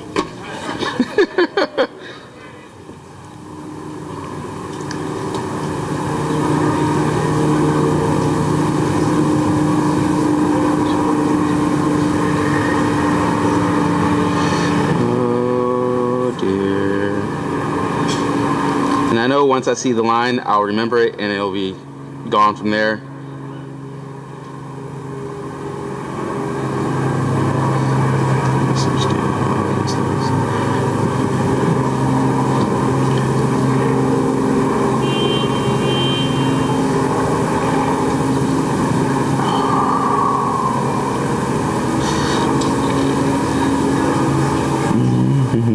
Sorry about this.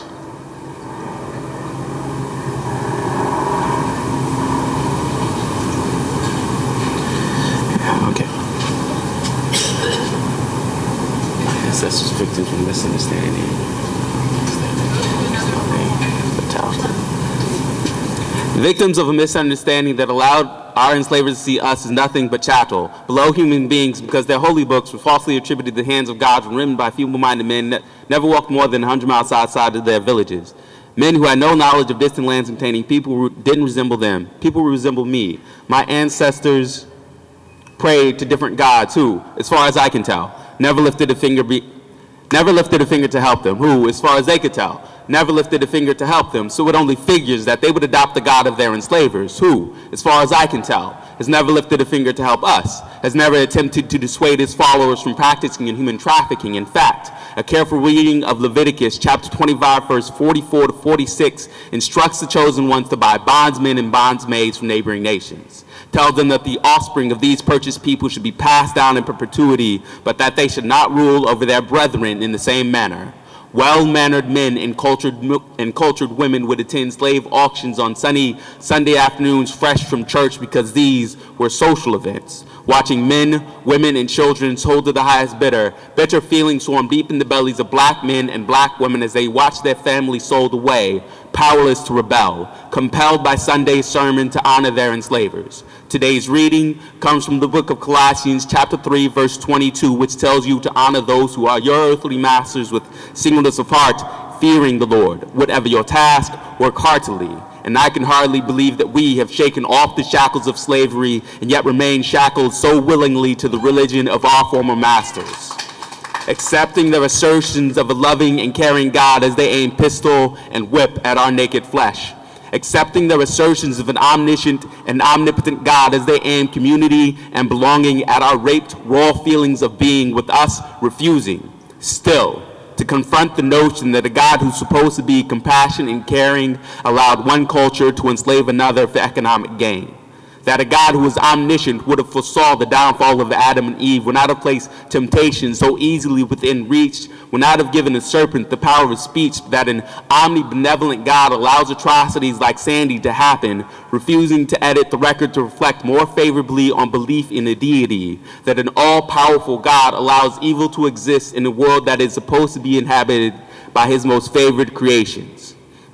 My ancestors prayed to different gods who, as far as I can tell, never lifted a finger to help them, who, as far as they could tell, never lifted a finger to help them. So it only figures that we would adopt the God of our enslavers, who, as far as I can tell, has never lifted a finger.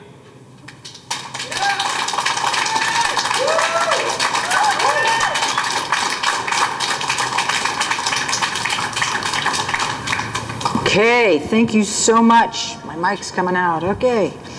Richard Carrier. Richard. Great. World renowned author and speaker. As a professional historian, published philosopher, and prominent defender of the American free thought movement, Dr. Carrier has appeared across the country and on national television defending sound historical methods and the ethical worldview of secular naturalism. I can keep going. You want me to? His books and articles have also received international attention. He holds a PhD from Columbia University in ancient history. Is best known as the author of Sense and Goodness Without God, Not the Impossible Faith, and Proving History, Hitler, Homer, Bible, Christ, and Why Am I Not a Christian? He's also a writer and editor in chief for the Secular Web. His latest book is On the Historicity of Jesus Why We Might Have Reason to Doubt or For Doubt. So sorry. You know what? Go. Thank you so much. All right, let's close this out. Uh, Christians need to rewrite history to support their desire to control the country and its people. Sometimes they go so far they become infamous. David Barton, for example, has fabricated so many false quotes from and claims about Thomas Jefferson that his publisher canceled and recalled all his books. But the damage is done. You'll still find politicians and internet evangelists using his fake quotes. Mike Huckabee's book has been thoroughly exposed as full of fake quotes from the Founding Fathers, and so on and on it goes. They need the United States Constitution to be based on the Bible and the Ten Commandments and the Christian religion, so they can claim this is a Christian country and thus Christian principles should be legislated through it. When in fact this country was created to be a free country precisely to prevent Christian principles from being legislated through it. Because the founding fathers had just lived through the tail end of hundreds of years of horrors inflicted by Christian sects legislating their principles through government. So they designed the Constitution to stop that. Jason Heap just went over a lot of that earlier today. How do we respond to stuff like this? How do we get the public to understand that the Christians who want to Christianize our government are actually doing the opposite of what our founding fathers intended? Well, for one, of course, we need to disseminate the truth as widely and as often as possible, online and by every medium, and that requires learning the truth. But then, what you must do is point out at least the following basic facts.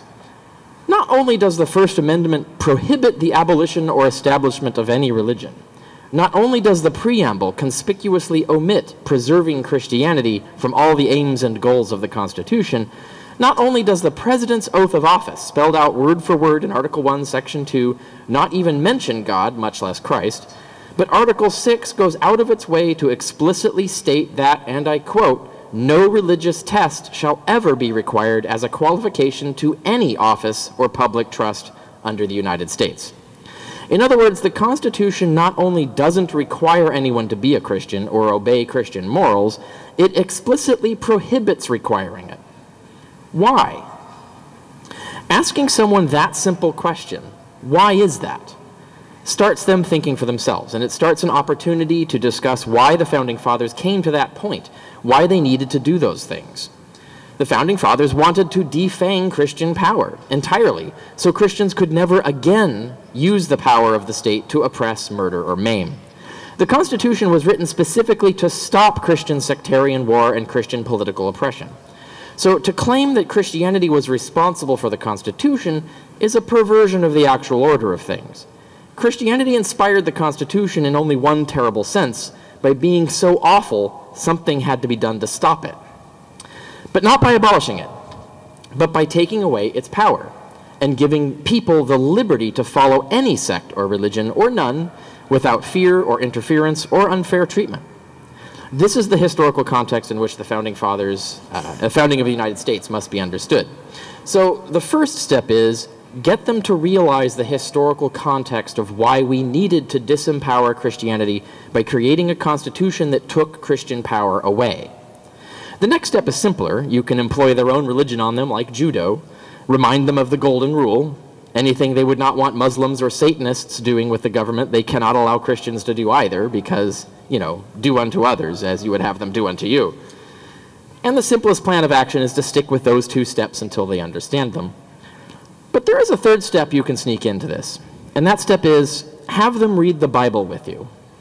In particular, for the purposes of understanding the Constitution, show them where the Bible commands the abolition of free speech and the abolition of the freedom of religion.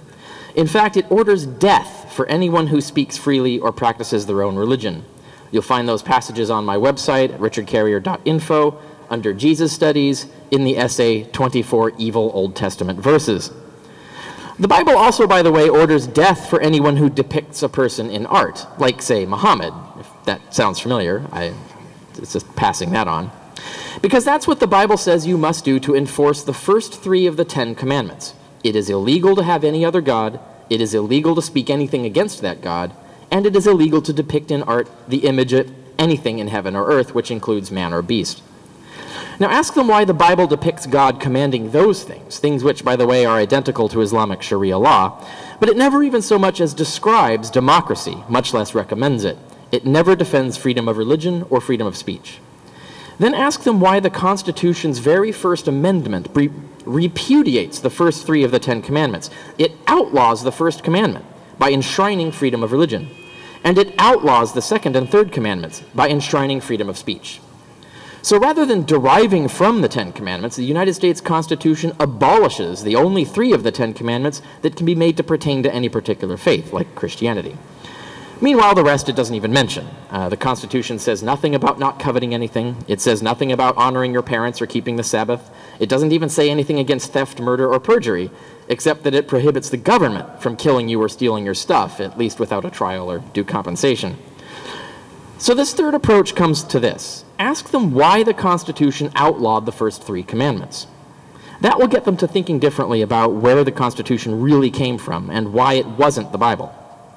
The reason the founding fathers of the United States wrote into their Constitution a ban on religious tests for office, and a ban on Congress passing laws favoring any religion's morality over another, and a guarantee of the right of every individual citizen to their own religious liberty, is that the founding fathers had just seen hundreds of years of wars and crimes and corruption caused by governments favoring religion.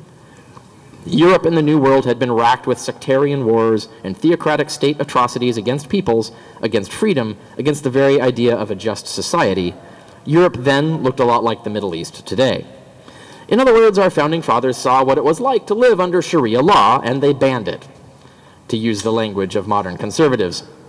Much is often said of the barbarity of Islamic Sharia law today, but the word Sharia simply means any law derived from revelation rather than human legislation.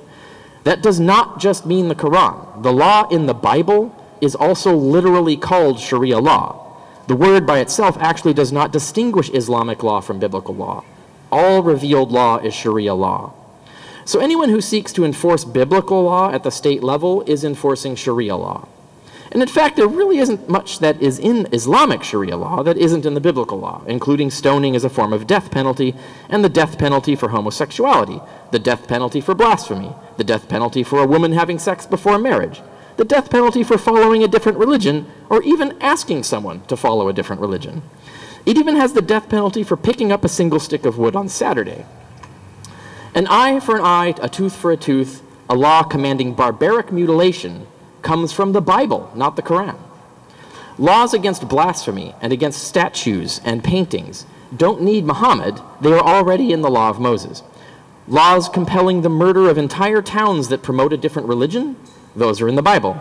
Laws legalizing the kidnapping of girls and subduing them into sex slavery, those are in the Bible. Laws legalizing not just temporary slavery for Jews, but full chattel slavery for non Jews, whereby your slaves remain slaves on your death and are inherited as property by your children, that's in the Bible. This is all Sharia law. ISIS today in Syria is exactly reenacting the ideal state described in the Christian's own Bible. And the founding fathers banned it. They banned the Bible from being the basis of our government. Just as conservatives today want to pass laws banning Sharia law in this country, which means they're actually passing laws banning biblical law in this country because they don't know what the word Sharia means. Instead, our founding fathers replaced revealed law with human legislated law, and they did this on purpose. They took God out of government and put human beings in charge of it instead, precisely because nothing good had ever come from basing government on God or the Bible, not once in 3,000 years of recorded history. So here we have so far three general principles. When someone makes a false claim about the history of the Constitution, first, have them read the Constitution where it contradicts their claim. Second, have them read the Bible where it reveals it is against the Constitution. And third, use both facts to make them think about what historical context could possibly have inspired our founding fathers to outlaw three of the Ten Commandments and ignore the other seven. Make them pursue the historical background and thus learn what it was. Because these things will disturb them so much that they will have to investigate, and thus they will inadvertently educate themselves. Now, that's one example. To rewrite history, Christians don't just make stuff up, they do that a lot too, but sometimes they lie by quoting it out of context. For example, you will often be confronted with a quotation of John Adams from a private letter to Thomas Jefferson of June 28, 1813. A private letter, of course, is the exact opposite of an official state document agreed to by the entire Senate and read out by the voting public, so do be sure to point that out. But more importantly, the quote, as you will see it repeated everywhere, reads as follows The general principles on which the fathers achieved independence were dot, dot, dot, the general principles of Christianity, dot, dot, dot. And I will avow that I then believed and now believe that the general principles of Christianity are as eternal and immutable as the existence and attributes of God. Now, notice the dot, dot, dots. First thing to do when confronted with a quote like this is to ask the person quoting it at you what was in the dot, dot, dot part. Make them get the full quote and read it, because that will teach them a basic critical thinking skill as they will learn not only that dot dot dot often conceals something and thus they can be deceived if they don't check, but they will learn to actually check and how to check. And above all, they will start to learn that they are being lied to. And that is the most important thing to get someone to realize. Because once they realize they are being lied to, they start to question the authorities they once trusted, and thus there begins the destruction of all false worldviews. Now, another thing to do is to remember a basic rule of reasoning. You cannot come to a correct conclusion without all of the evidence. If you let someone select the evidence to show you and thus keep evidence from you that hides the truth, you are allowing yourself to be deceived. The dot dot dots do that, but so does simply not mentioning other relevant facts. Like, for example, did you know John Adams, this John Adams who supposedly said general principles on which the fathers achieved independence were the general principles of Christianity, is the same John Adams who wrote, and I quote, the government of the United States of America is not in any sense founded on the Christian religion. Yep, same guy. And he wrote that in the Treaty of Tripoli in 1797, the English text of which was written at the behest of George Washington and also signed by John Adams. This English text was read on the Senate floor and passed unanimously among all the senators present. Notice that this is an official state document, passed by the Senate and signed by the President who was in fact this very John Adams. That carries a bit more weight than a private letter. But let's get back to that private letter. What was left out of that John Adams quote? What was in the dot, dot, dots? I'm going to quote the whole context because it's fascinating, and not least because it mentions and praises atheists. Adams wrote to Jefferson when questioned about his personal thoughts, not any official state position, that he valued liberty above all and that that had been the goal of the American Revolution. In speaking of that war and its outcome, Adams wrote, Who composed that army of fine young fellows that was then before my eyes? There were among them Roman Catholics, English Episcopalians, Scotch and American Presbyterians, Methodists, Moravians, Anabaptists, German Lutherans, German Calvinists, Universalists, Arians, Priestleyans, Socinians, Independents, Congregationalists, Horse Protestants and House Protestants, Deists and Atheists, and Protestants uh, qui ne croyant rien, or in other words, Protestants who do not believe anything. Very few, however, of several of these species, nevertheless, all educated in the general principles of Christianity and the general principles of English and American liberty. Could my answer be understood by any candid reader or hearer to recommend to all the others the general principles, institutions, or systems of education of the Roman Catholics? Or those of the Quakers? Or those of the Presbyterians? Or those of the Methodists? Or those of the Moravians? Or those of the Universalists? Or those of the philosophers? No. The general principles on which the fathers achieved independence were the only principles in which that beautiful assembly of young men could unite. And these principles only could be intended by them in their address, or by me in my answer. And what were these general principles? I answer the general principles of Christianity, in which all those sects were united, and the general principles of English and American liberty, in which all those young men united, and which had united all parties in America in majorities sufficient to assert and maintain her independence. Now I will avow, and then uh, I, now I will vow that I then believed and now believe that those general principles of Christianity are as eternal and as immutable, immutable as the existence and attributes of God, and that those principles of liberty are as unalterable as human nature and our terrestrial mundane system. I could therefore safely say, consistently with all my then and present information, that I believed they would never make discoveries in contradiction to these general principles. In favor of these general principles in philosophy, religion, and government, I could fill sheets of quotations. And he goes on to name many famous philosophers, including the anti Christian Voltaire. That is the full context of the John Adams letter without any dot dot dots. Notice what Adams is actually saying. First, Adams is carefully distinguishing his own personal beliefs from any official state principles. More importantly, he includes atheists in his list of praiseworthy American freedom fighters, as well as non Christian deists and Protestants who had no beliefs at all, and all manner of heretics. In other words, Adams is not saying that America was actually founded on Christian principles in the modern sense. Rather, Adams is saying America was founded on universal moral principles shared by all good philosophies, even godless philosophies. To him, the word Christian just means good. Adams then says that it is, uh, uh, it is his own personal opinion that the Christian God has so arranged it. But again, he is careful to say that this is his own personal religious belief, not a state doctrine. And then we might take the trouble to learn that John Adams, our second president, was a Unitarian. He did not believe in an eternal hell or the divinity of Christ or even in miracles. Thus, when he says Christian principles, he does not mean anything we would consider distinctive of Christianity, such as the saving power of Christ's sacrifice. He means simply a basic human morality common to all religions and philosophies. And for these views, by the way, he would be kicked out of nearly every conservative Christian church in America today. So context matters. Another example of the importance of context, and thus why providing context should be one of your top general principles when educating the public about history, comes from another thing this same John Adams wrote an entire multi volume book on where the founding fathers got all their ideas from in creating the Constitution.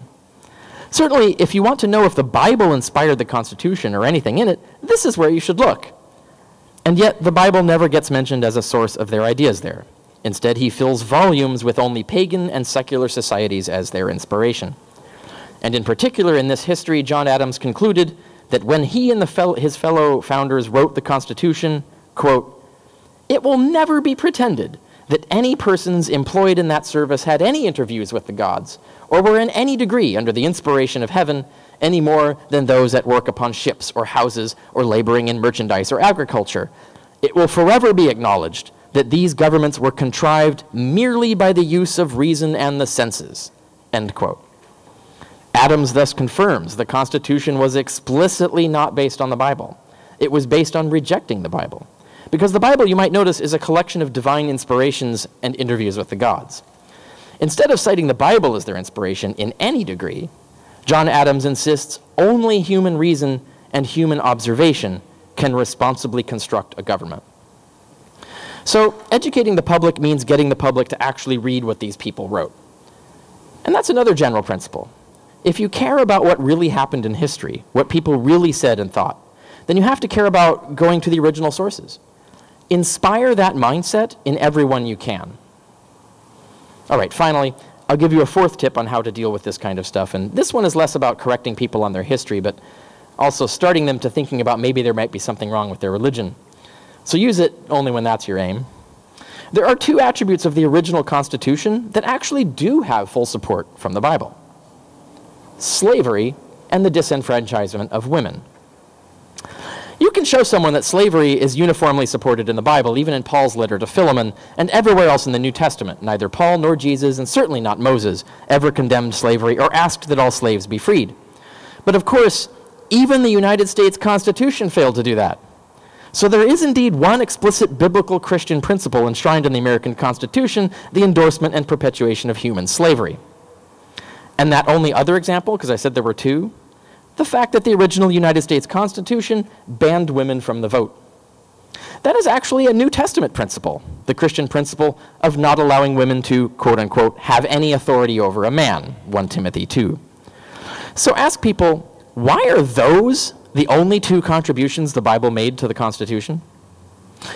By contrast, the idea of John Adams, of rejecting Scripture and revelation and divine inspiration, and instead using evidence and human reason to think up the best way to treat people and organize society, eventually led to repudiating the Bible on those points as well. We abolished slavery, and we gave women the vote. Thank you.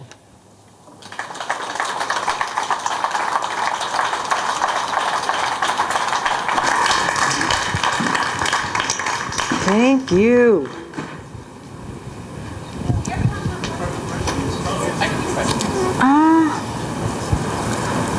Sure.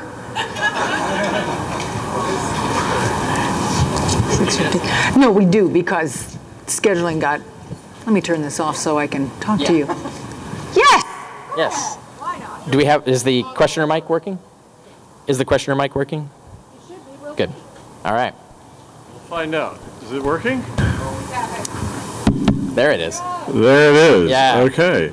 Uh, but first I want to say thank you. I just got finished teaching a course on the founding fathers and after and religion in an after-school program in Alameda. So you nice. Uh, nice. Uh, uh, John Adams is interesting because he's a he was something which today would be considered an oxymoron, but which existed in his day. He was a conservative Unitarian. I mean, there was a the Unitarian Church really back then had a right wing and a left wing, and Jefferson is essentially a liberal Unitarian, and John Adams is a conservative Unitarian. Today, there is no such thing.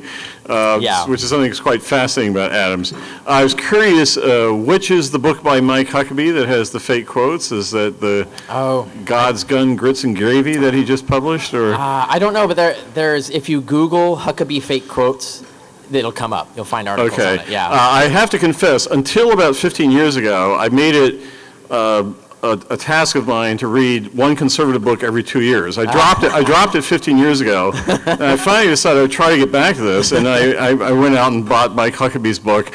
Uh, God's Guns, Grits and Gravy. Uh, I couldn't finish it.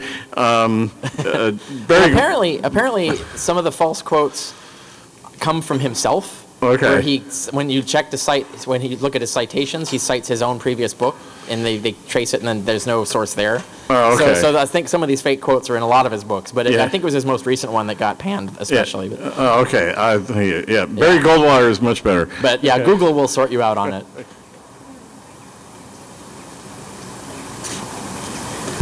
Hi, I want to thank you for that talk. Um, I've heard you speak several times across the last uh, s- eight or 10, I don't know how long years. Yeah. And I think the content of this one is, is real, it's cohesive, it builds around uh, the father, father of our Constitution. Yeah. Um, you you couch it as though we, in, as individuals in conversations with people, will plant seeds and you know, contest and so forth. The thing that I am always interested in is how do we besides speaking to ourselves at events like this, how do we get our act together to make an actual um, make some progress in informing the appropriate, uh, in strategies that will actually make changes in things like textbooks, how education committees are making, con, you know, decisions. Do you have any ideas along this line? It seems like we, we tend to phrase a lot of what we do as, indi- we're individuals, you Yeah, know. I- I- How do we Right. make real history uh, come alive with uh, middle school to, you know, Yeah, I'm, I'm not the one to ask that because that's an organizational question, a question of how you get things to happen, um, and that's not my field. Um, but there are people who, yeah, there are people who do it, um, and I agree there probably could be more money invested from our organizations into doing these kinds of things, like controlling textbooks, because we especially have a war over textbook content right now and over history content. Uh, especially in Texas, but that's not the only place that it's going on. Now, there are atheist groups that are fighting that in Texas, for example, but I, I haven't seen if there's some sort of concerted national effort. Uh, Center for Inquiry, for example, would be probably would be ideally positioned to do this, but um, but there are others. Americans separated, uh, Americans for separation of church and state, um, Americans United for separation of church and state, FFRF could do it. I mean, there are a lot of these organizations that could be doing it, but you've got to find people who know how to answer that question you just asked. Um, so they wouldn't be hiring me to do it. They'd be hiring someone who's a, a really savvy uh, political organizer, essentially. So uh, the only other thing I would recommend is social media. Um, when we find articles that debunk these things, spreading them virally through social media, through uh, Facebook, uh, Twitter, all of these kinds of things, is something where we individually can have a large impact. Because even if we send it to like 20 or 100 friends on Facebook, they will send it. And so the actual impact over, you know, through several stages could be thousands, hundreds of thousands of people without you even realizing that that's occurred. Um, so we can have a bigger impact. The more of us who are doing that, the more this becomes just a sea of information uh, that is correcting, the, you know, debunking this nonsense. The more it becomes common knowledge that it is nonsense. And this is actually happening with the younger generation, are well aware of these things. Uh, that uh, you know they check, they can check Google. They know what Snopes is. Um, so they can quickly find, they know fact check. They know these, these, these uh, organizations online that exist uh, to provide this information. So the more you do that, you get people who just, you know, unfriend you when you send them actual correct information. Uh, but you also get a lot of the people who they were, would otherwise be fooling with their nonsense will go, oh, wait a minute, I thought that was true. Oh gosh, that's not. Um, so being active on social media can have an impact like that. Um, so there is a way that we as individuals uh, can collectively, in that sense, have an impact. But I agree that you need the other pathway as well, controlling textbooks and things like that. So yeah. Yes. I have a question because you're so um, you seem well you are extremely knowledgeable knowledgeable when it comes to like the roots of Christianity and how um, it has influenced culture in America as we know it. How did you get started? I mean, what made you go down that path? Because I know for me, what got me here was more of a a human kindness type thing. Like I'm tired of I don't want to be mean to people, but Yeah. you seem to have come into a, a whole different path. But it's intriguing, and it made me literally want to go home and look up John Adams and read. Yeah. So, where would I start? Um, well, I mean, Or how did you start Yeah, there, the there's tons of stuff online that you can just explore for sure. Uh, but for how I got into it, that's a different question. Um, for me, it, it started with philosophy. Um, I realized there wasn't any coherent worldview for non-believers, and so I developed my best argument for one, which was Sense and Goodness Without God, which was my first book in 2005. Um, I had always been developing that, and I've remained a philosopher, and I do publish in philosophy. That's another track of my life.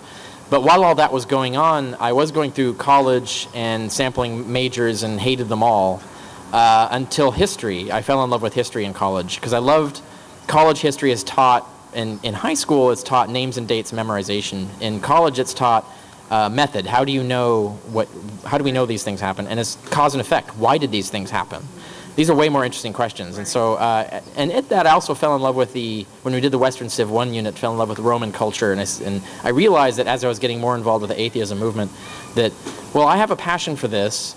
If i study that i'll also get um, the languages and then i can actually start informing i could be the guy for the atheist community to actually debunk some of the false claims made about the bible and i didn't see that as something that everybody should do i saw that as something like maybe just a very small number of us could do it just make ourselves useful so that no one else has to do it right so uh, so i saw myself in that role and that's it developed up to become a historian in that sense and so that's why i write and publish all of this stuff so that you don't have to spend six years researching a particular question in, in ancient history that relates to the origins of Christianity.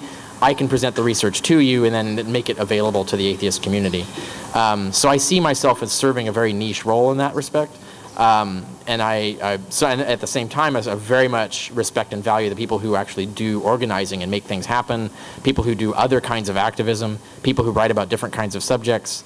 Um, it's a nice division of labor, and we can get a lot more done that way if we're all separating our tasks like that.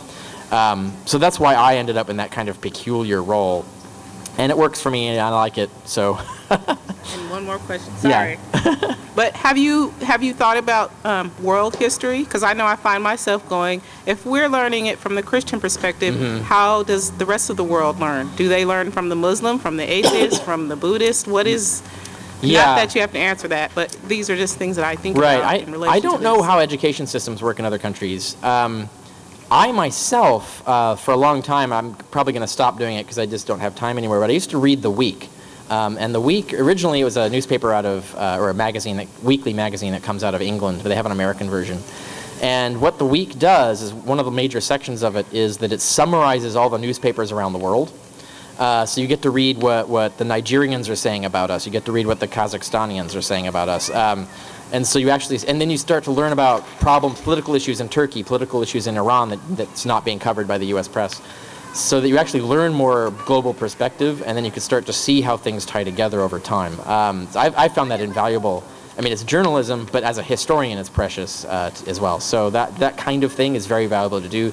You will blow your mind realizing that what else is going on in the world and how much is being ignored by our press. Um, and you'll learn so much more about the struggles of other people around the world and how much we are often responsible for their problems. so, so I recommend that at the very least. Thanks.